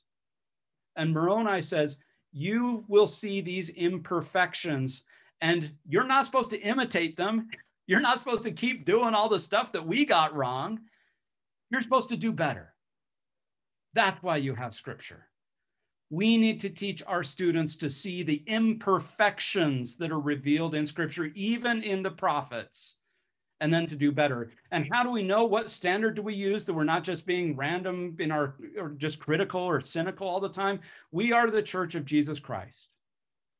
We read the scriptures through the life, ministry, atonement, and resurrection of Jesus Christ. He is the Prince of Peace. He is the North Star, not Captain Moroni, not Nephi, not anybody else, Jesus Christ. So we read the war chapters through the gospel of Jesus Christ, not the other way around. We read the Nephi Laban story through the gospel of Jesus Christ, not the other way around. So when we we have to teach our students to apply Jesus to all of the scriptures and to see Jesus, which means that we might have to read critically because Moroni invites us to. We might have to say what's going on in the scriptures at any given moment is does not live up to the fullness of the gospel of Jesus Christ. So we are called to do better. We are called to learn from these scriptures and do better. Why? Because we are called to be peacemakers. And I'll close with this from President Nelson, General Conference address that he gave about 20 years ago. This is what President, then Elder Nelson said. He said, Peace is possible. It is a prime priority that pleads for our pursuit. How's that for alliteration? The descendants of Abraham, if we believe that we are Israel, entrusted with great promises of infinite influence are in a pivotal position to emerge as peacemakers. Chosen by the Almighty, they can direct their powerful potential toward peace. Peacemakers could lead in the art of arbitration, give relief to the needy, bring hope to those who fear. Of such patriots, future generations would shout praises, and our eternal God would pass judgments of glory. Peacemakers are patriots.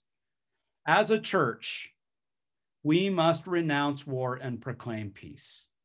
As individuals, we should follow after the things which make for peace. We should be personal peacemakers. We should live peacefully as couples, families, and neighbors. So that's where I've got. I mean, a lot of this comes from uh, from from this book uh, that I published, Mormonism and Violence. Uh, as was mentioned, I have a book coming out this fall with David Pulsipher, uh, which really uh, tries to outline a scriptural theology of nonviolence. We dig deep into restoration scripture, uh, especially in the Book of Mormon and Doctrine and Covenants to, to talk about a lot of the principles that I've talked about today. So thank you for your patience, and I'm looking forward to the, to the conversation. All right, that was awesome. Uh, what a wonderful way to wrap up that message with uh, Jesus Christ as the Prince of Peace. Now, there were several questions that were given in the chat as you were going, and some of them seem to have been answered. But uh, for those of you who have questions, please put those in the chat now. Um, for those who are members of the training council, let's just kind of round robin this. As you see a question that that you feel like is relevant, will you pull that out and we'll just kind of take turns reading these and and we've got 30 minutes. Is that okay, Patrick? We got 30 more minutes with you. Absolutely. Yep. So I'm I'm going to start it off. If the other members of the training council just start kind of looking as the questions start coming in. This is a question I think we're going to battle all week. Um, starting here with with this question of violence, and then tomorrow with plural marriage, and then the next day with race and the priesthood. So, Brother Mason, with your perspective, Uh, we are taught that God, this is from Caleb Ware, we are taught that God will not lead, let a prophet lead us astray. And then we see accounts of Brigham Young saying that we must kill the Utes or that they will kill us or that he will kill people with a Bowie knife. How, how do these two ideas fit together? So, this is a question about prophetic fallibility.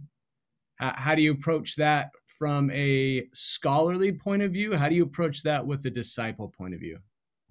Yeah, you're exactly right. This is the million dollar question. I believe this is one of the most important theological questions that we as saints have to grapple with uh, right now. Because um, uh, I, I, think we have not done the necessary work to grapple with it. Um, okay, so first of all, the scriptures are abundantly clear that we do not believe in prophetic infallibility. It is not a doctrine of the gospel of Jesus Christ. We do not believe that our prophets are inerrant. We do not believe that the words that they say are perfect or can or that they can never err. We do not believe that. The scriptures are clear about this. I just read Mormon chapter 9, section 1 of the Doctrine and Covenants uh, is amply clear about this. Uh, I, could, I could go on and on. Uh, the, the, the scriptural record is quite clear about this. Just read the Old Testament, right? Um, but um, but we also maintain that God calls prophets and apostles, and we lift our arm to the square to regularly sustain them as prophets, seers, and revelators. And we believe that the words that they teach uh, are revelations uh, from God. Not every word they teach, right? And so this is so this this is what has to happen. And brigham young and actually all of the prophets have taught this. They they tell the saints not to take their word for granted but but to receive confirmation from the holy spirit of their words. And so we are god's not interested in making robots. God's interested in making disciples and in ultimately making gods. That means that we have to hone and develop our own gift of discernment. And one of the parts one of the things uh, that uh, is a gift about the gift of prophets and apostles it helps us dis- helps us refine our sense of discernment. How do we learn to trust? Uh, how do we learn to follow? Well, we do so through uh, exercising the gift of the Holy Ghost that's been given to us, so that we can know what teachings are true. Uh, now, I think when you look at the the record, the overall record of the teachings of the prophets and apostles of this, this, this dispensation. It is a strong record, right? Uh, it is not an infallible and perfect record, but it is a strong record of men who have been called and have successfully testified of Jesus Christ and his gospel.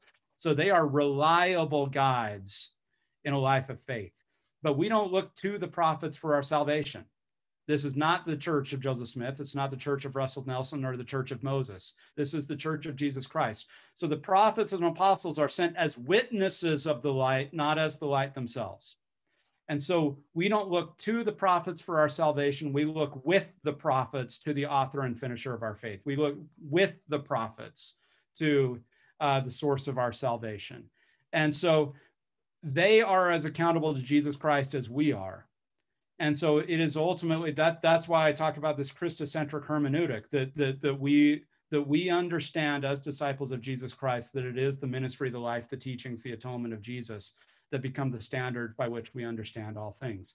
So um you know the, the the lord told the church in section 21 he told them to sustain and, and follow the words and hearken to the words of joseph smith in all patience and faith and and that becomes the dynamic. We, we do it in all faith but we also do it in patience recognizing uh, as david o mckay taught that when god makes the prophet he does not unmake the man. Uh, so he, he does not rob them of their agency any more than he robs us of our agency. And this is the this is part of the process. And so in some ways it would be easier just to salute and be robots but again god doesn't want to make robots. Uh, he he expects he expects us to work out our own salvation and that includes uh, how we understand and what it means to follow the, the, the, words of, of prophets that we believe are reliable and are called as witnesses, but are not perfect. Uh, so this is, it's, it's harder to do that, right? It's, it's, it's hard to figure this stuff out. Um, it makes our brains hurt sometimes. It makes our hearts hurt sometimes. Uh, but that's, that's the that's the path that we voted for. That's the plan we voted for. We didn't vote for the easy plan. That was somebody else's plan in the council in heaven We voted for the messy plan, the hard plan, the complex plan that required redemption for all of us. Uh, and um, last thing I'll say is that we believe in a gospel of eternal progression. And so uh, we need to let uh, our past leaders and current people to, to, to do better. Uh, I am convinced that Brigham Young is not sitting up in spirit paradise or wherever he is saying the same old racist things he said in 1852 or saying the same things about Indians or, or calling for war. I'm, I, I'm convinced that Brigham Young has learned some things over the past century and a half as part of his eternal progression. So let's let him progress. Uh, let's let's let our past leaders progress just and show them the kind of generosity uh, that, uh, that, that we would hope that, uh, that, that would be shown toward towards us. So look, it's this is a hugely complex topic, um, uh, but but but I think we we we we just have to keep wrestling with it, and and and different people are going to come up with with slightly different ways of, uh, you know, of where they feel comfortable on this. Um, but but uh, but I think some of the core doctrines um, that have been revealed to us are, are pretty clear. Great. Uh, Caleb, do you want a follow up question on that, or is that good? Oh, that was good. I appreciate it. All right, uh, Ke- Kevin, looks like you got yours unmuted. Yeah, Patrick, I have I have some questions for you. You um, tipped your hand uh, in what you were sharing with us about 3 Nephi 9 and the destruction that takes place there. I'm I'm curious um, why you find that so. What word should I use? Disturbing in light of the whole scriptural context of God. Um, you know, even back in when he's making the covenant with Abraham, hey, you can't have this land yet because the Amorites are not full in iniquity yet. And so God has his rules. We, I, I again, God taking people off the earth through a flood or through fire with the second coming to me this mortal state isn't it. I mean, it's the people who died in the flood. Great, they get to be taught later. It's okay. you know, I, I, tell me why you're so your feelings about Third Nephi nine. That was interesting. Yeah, that's a great question. Um, you, are and you're exactly right. Actually, you put your finger on one of the most important parts of it. Is that uh, if I really believe in the resurrection, right? I, if, if I really believe in that, then um, then who lives, who dies, when, you know, all the, the, the, this mortal probation is not it, especially with our understanding of, of the gospel, of the plan of salvation, right? That, uh, that redemption continues uh, in, in, in the next world. So, so you're exactly right. So in an ultimate sense, I'm not particularly troubled by it. And the, um, but I am, uh, I, I think I, I'm troubled um, for a couple of different reasons. One is that, um, I think this this is a hard thing for lots of, of, of readers, right? They say, wait a minute, I thought God is love, right? Uh, I thought that Jesus was, was the Prince of Peace. That doesn't make sense to me why God is killing people, especially sometimes over like, uh, and, and oftentimes the question is formulated this way, like, um, okay, like let's, let's take Ananias and Sapphira, right? Okay, so they held some things back, they weren't fully honest, all this kind of stuff. Like, God didn't reach down and kill Hitler, right? I mean, there, there, are a lot of people who have done a lot of worse things than seemingly what um, you know the, the, the reasons why God has killed, you know, steadying the ark and things like this. So so part of it is what seems to be a kind of inscrutable logic of of why God chooses to intervene with that kind of uh, fatal violence that doesn't seem to make any sense. And, and we could say, well, God's ways are not our ways, and I think we have to lean on that, and and ultimately that's true. Um, but we also still want to try and make some sense of it. What the, ultimately the way that I make sense of Third Nephi nine, and not everybody's going to agree with me, and actually a lot, of my friends who are um, a really committed pacifists uh, don't like this interpretation that I'm going to give, is that it seems to me that the Book of Mormon makes a distinction between the condescended God and the ascended God. Um, that uh, the condescended God being Jesus in the flesh, and what manner of man ought we to be we're supposed to be like jesus and and so i don't see anywhere where where jesus gives us license uh, for ourselves to commit uh, to commit violence and and this is partly me wanting to to hold off the the Krakauer argument the religion is inherently dangerous. The revealed religion is inherently dangerous because you never know what God's going to tell you, right? And and what I want to say back is no, God has told us, He's revealed exactly what God is like in the flesh, in mortality, and that's Jesus, who lived a perfectly nonviolent life. And that is the example we're to follow. Now, the ascended God has a different kind of moral calculus, partly because he has the power of resurrection. Right? He can make if, if, if I if I commit violence against somebody, especially if I kill somebody, I can't make that right. I can't, there's no way that I can reconcile that. There's no way I can bring that back. It, it, that is the reason why it's the ultimate sin. There's nothing I can do to reconcile that. That God has to do it.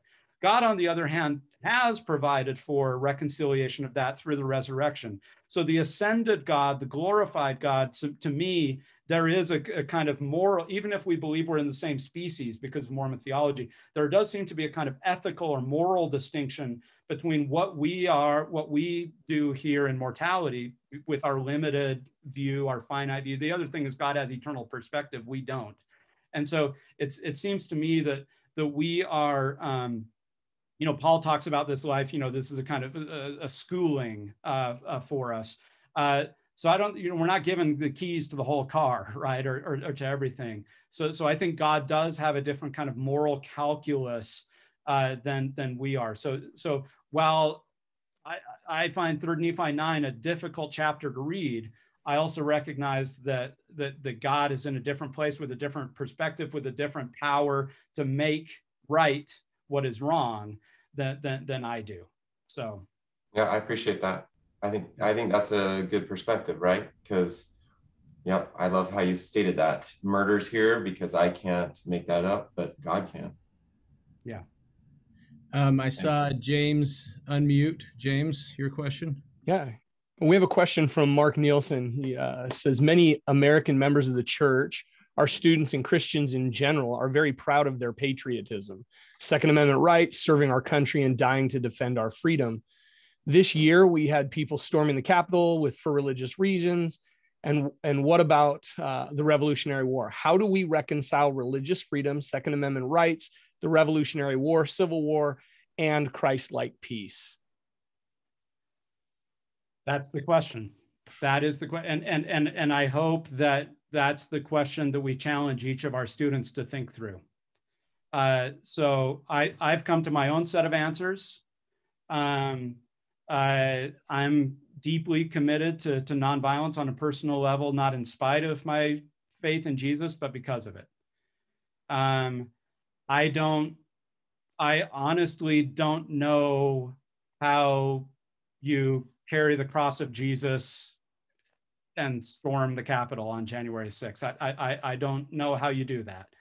Um, and so maybe I need to, to learn more and be more generous uh, to, to other people. Um, I, I don't know how you connect those dots. Well, I, I, I know how theoretically, because I've read enough and, and so forth, but, but I viscerally, and in terms of my discipleship, I don't know how you connect the dots in, in that way.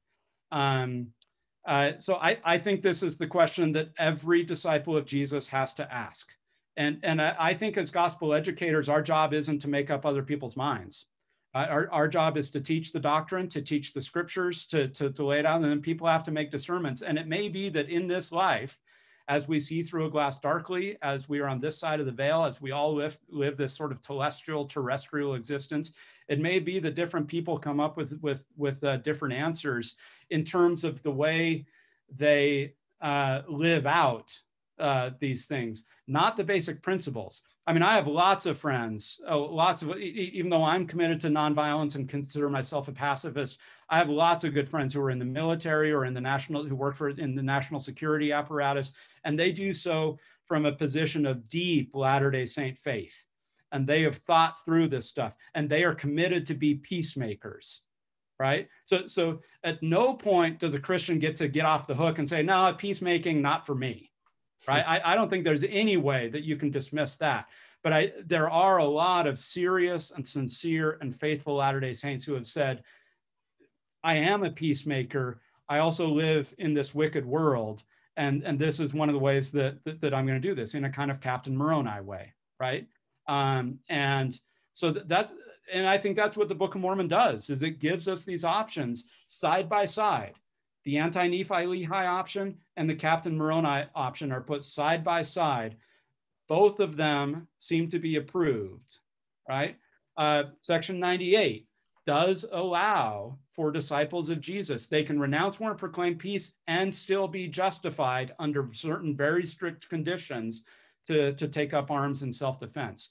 So, um, uh, so, so I think we have to make room for the people who, who come to conclusions like I do, that, that their Christianity is going to lead them to a kind of personal pacifism. But I think we also have to make room for people who take their Christianity equally seriously. I don't think we let people off the hook with Christianity, right? I think we need to, like, how are you being a peacemaker, right?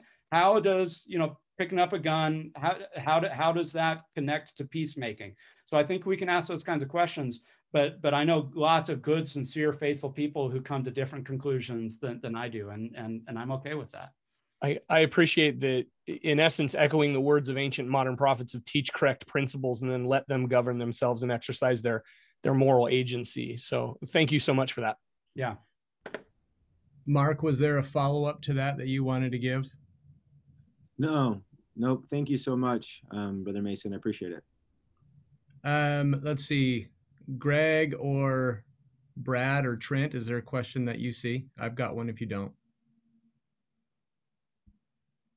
It looks like Tom Gibbons wants to know more about blood atonement. Did Brigham Young teach blood atonement and any insight you'd have there? Yes, he did repeatedly, as did other leaders of the church and members of the first presidency and, and other apostles.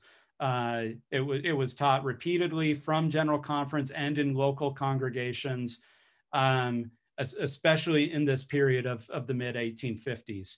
Um, this is also about the same time Brigham Young was also teaching the Adam God theory. He continued to teach it off and on throughout the rest of his life. Uh, that's another instance where I think the membership of the church received that uh, supposed doctrine with a collective shrug. Um, uh, and so this is an instance, I think, I actually think that this is when, when I talk about prophetic fallibility um, and the kind of checks on on this. I think that the membership of the church has, uh, through our own collective discernment, sometimes we vote with our feet. Uh, and those are instances in the 1850s, at least, where, where Brigham Young was introducing and preaching doctrines to the church that the membership, the, the spirit did not ratify those teachings uh, among the membership of the church.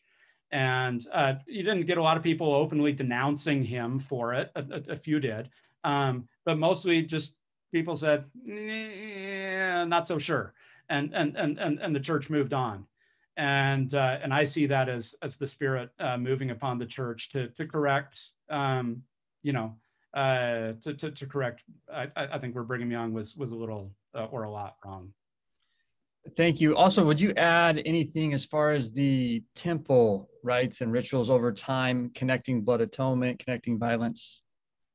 Yeah, well, I think I mean it. It, it, it they they um, the oath of vengeance was not originally part of the endowment ceremony. It was added to the endowment ceremony after Joseph Smith was killed.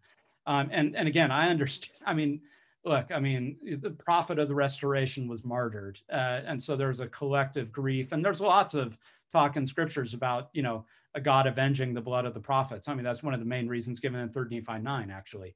Um, and that was, and, and this is one of the things where critics of the church oftentimes got it wrong. They thought the Latter day Saints had taken an oath to avenge the blood of the prophets. In fact, the, the, the oath was, was simply, um, uh, or, or, or, the prayer was that God would avenge uh, the blood of the prophets. That's a, that's a distinction. That eventually gets removed in the uh, early 20th century. I forget exactly what year um, that's, that's removed. Um, and and and so we see this as part of the temple ceremony. And we you know we see this as part of the ongoing restoration is that we continue to learn and grow. Um, either we make mistakes and and then uh, correct them later or maybe some teachings were appropriate at a certain time and, and then and then outlive their usefulness at, at a later time. There's different ways to think about this. Um, but I, I personally see that as an expression of the collective grief of the saints um, and, and, and a cry for justice uh, that they had not received, um, and, and, a, and an appeal to God for, for divine justice. Um, and uh, uh, and, and and then again that that outlived its its utility. All right, Thank we you. have we have room for probably one more question. Let's go with Nikki's question there. Um, as she asks, in a new awareness of Section 103 and with little understanding of curses, in verses 24 and 25, even those given up by authorized servants, what can we do to stand up to our enemies while keeping the covenant? Thinking of students who have been treated violently by family, friends, and people, what can we do for them and, and their feelings of belonging? And we should probably combine that with uh, Mason's question about what do you say to a student who just doesn't feel like this type of topic is relevant. So these are both kind of student relevancy type questions. Yeah, yeah. Look, I mean, yeah, we are. Um, uh, we, I, I think many of us are blessed uh, in in that uh, our lives have not been significantly impacted directly by violence. Certainly, that's true for me.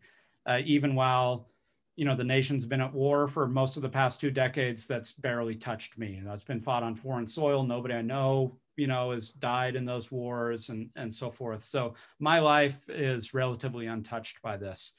Um, and and so I could see a lot of students saying, "Ah, this this this, this stuff doesn't doesn't matter much to me." I, I think there's there's relevance in a couple of different ways. One is that is that the world is still a world of violence and will continue to be. I mean, all the prophecies are that uh, if anything, violence will increase, not decrease, uh, uh, as we uh, as we get closer to to the second coming. And part of what we do as saints is we prepare for for what may happen in the future. So, and, and this is what we teach our students all the time, right? You, you, you don't just wait until the moment of temptation or the moment of crisis to then think about something for the first time, right? You prepare yourself so that when that moment of trial comes, you have oil in the lamp, so to speak. You've already thought through these things sufficiently so that you you know think you know what you're going to do at least when when that moment of crisis comes. So there's something to be said about that. Also as an act of charity and empathy that a lot of our sisters and brothers around the world do live in places of violence and this is very real uh, whether members of the church or not. But violence is is a very real part and and frankly it's it's a part of this country. Uh, in may just last month there were over 60 mass shootings in this country. So while our students may be insulated and while i may be insulated from this for lots of different reasons race being a, a, a part of it uh, economics being a part of it um, nobody is is perfectly immune right? I mean you know these these kids live grow up in a, in a time of school shootings where they have they have drills uh, you know every few months in terms of what to do in, in the case of an active shooter. So um, uh, so so this is this is not just theoretical um, the the other thing is that um, yeah, so even if it's not violence, I think we all have to think about how do we deal with opposition? How do we deal with with persecution of different forms? Now we don't experience the kind of persecution that they did in Missouri, where no nobody's being driven from their homes because they're a Mormon, nobody's being raped because they're a Mormon, uh, th- these kinds of things. Okay, um, but but a lot of people do experience opposition because of their faith, and I think we have to think about what how we're going to handle that. And I think we um, I, th- I think we turn to the the Sermon on the Mount. What does it mean to be a peacemaker in your school? What does it mean to you know when somebody says horrible things about you and your faith?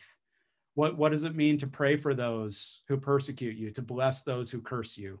Right? They, they may not be explicitly violent about it, but what, is, what does it mean when people are really nasty towards you? Um, lots of people, um, unfortunately, you know, domestic abuse and all kinds of things, you know, there's a lot of violence that happens behind closed doors. Um, and I think we have to, to think about that in, in our ministry as well. But, but fundamentally, we, we have to think about what does it mean to follow Jesus in, in a world that is hard, in, in, in, in a world where um, a, a world that, that, that will be a difficult place for saints to live in. And for me, at least, uh, it's a sobering thing. And, and I'll close on this. But I always have to remember, and this, is, this is a hard lesson to teach, especially to teenagers or really to anybody, that um, how did Jesus respond to the persecution and opposition that he received? He was crucified. He didn't fight back. He could have. He said in the garden, he said, I could summon legions of angels if I wanted to. But he told Peter, he said, put down your sword. And Jesus went willingly to the cross. Now, we could say he had to, it was part of the atonement, it was part of his mission, but he told his followers the same thing. He said, If you're going to follow me, you're going to walk the path of the cross. Now, for some of those followers, it was the actual path. We know that some of them were crucified and so forth. But, but what it means to follow Jesus is to take up the cross. And uh, the cross is a symbol of violence. The, the cross is a symbol of unjust, unfair treatment of an innocent victim. And so I think for all of our students, whether or not they're going to ever encounter violence in their lives or not, I think we have to teach them that to be a disciple of Jesus means partly how you're going to carry the cross. Will you carry it? And then how will you carry it? Jesus carried it to his crucifixion because of his faith in the resurrection. He knew that he would be raised on the third day. Do we believe that? Do we believe that God will fight our battles, or do we feel like we have to fight them ourselves? Uh, the early saints believed that God would fight their battles, and then they, you know, it, it, again, it gets hard. It's it's it's not fun to be punched in the face, and and so they turned to self defense, and maybe that was the right thing to do. Um, but uh, but I, I think this is what we need to do as gospel educators to recognize the relevance of this. Again, maybe not, you know, some of the specifics, uh, of, of, of violence, but to think about what does it mean to carry the cross of Jesus and, and how will we do so? All right. well, our time is well spent. Um, in 30 seconds, could you tell us this is for Tim Sharp resources for where he can get additional information on the history of oath, uh, oath of vengeance or blood atonement? He just wants some additional you got books off yeah top? so i mean if, if you want just a, a, a pretty brief treatment of it i mean i, I don't want to plug my my own book but you can get some of the the basics here in, in this book mormonism and violence and and then you can look at the footnotes that, that point you to other things there have been some some good essays um, there was a there was there was a good essay on blood atonement by in, in the journal of mormon history a few years ago and i'm totally blanking on the name of the author just because i'll, I'll remember it as soon as we hang up um, but the Journal of Mormon History has had some good stuff on blood atonement. Um, the the um, the temple oath uh, and, and the history there, obviously, it's a little trickier um, uh, because of sensitivities around the the, the temple. Um, the uh, but there have been historians that have that have studied it. Uh, there's a historian named David Buerger. he has a book called The Mysteries of Godliness, uh, where he traces the, the history and the development of, of the temple ceremonies. Uh, I think he does so mostly in a sensitive and fair way. Some people might think he crosses some lines, um, but that's uh, just the temple is a difficult subject to talk about as a historian um, to, to be uh, to be sensitive. So th- there are some some, some resources um, to go to. One thing that you can do, uh, one resource anytime you're studying Mormon history, by the way, um, is uh, BYU. Uh, the BYU library hosts a database. It's called Studies in Mormon History. In, in, in scholarship, we still use the M word. I know we're discouraged from doing that as, as uh, church members. Uh, but if, if you go to Studies in, in Mormon History, uh, it, it's, it's a part of the BYU website. You can search any topic. They have a great sort of keyword search and things like that. And you can track down uh, the scholarship uh, on, on any given. So you could just type in blood atonement or you could type in, you know, oath of vengeance or something like that. And, and it would pull up the relevant articles or books uh, for you. So that's, that's a really good resource. Right. Brother Mason, we we express our our love for you, for your your scholarship, and for your discipleship. This has been this has been really wonderful. And you have stated uh, you're willing to share your your slides with us. Yeah, absolutely. So should I just send that to you? Yeah, if you wouldn't mind, and then I'll I'll I'll make a link for this video and the slides and make this available to everybody. So that's great. And then if anybody has specific questions, if you want to hunt down some sources or something like that, uh, feel free to, to email me. I'm, I'm easy to find. I'm just patrick.mason at usu.edu. Uh, email me if you ever have questions about sources or some of the specifics of the of this history. Awesome. We we love you very much. We appreciate your time and your effort. Uh, for everybody else, you got 30 minutes to get to the building. Thank you. We love you. Uh, we appreciate your morning. Have have a good day. Great. Thanks. You too. Take care, everybody.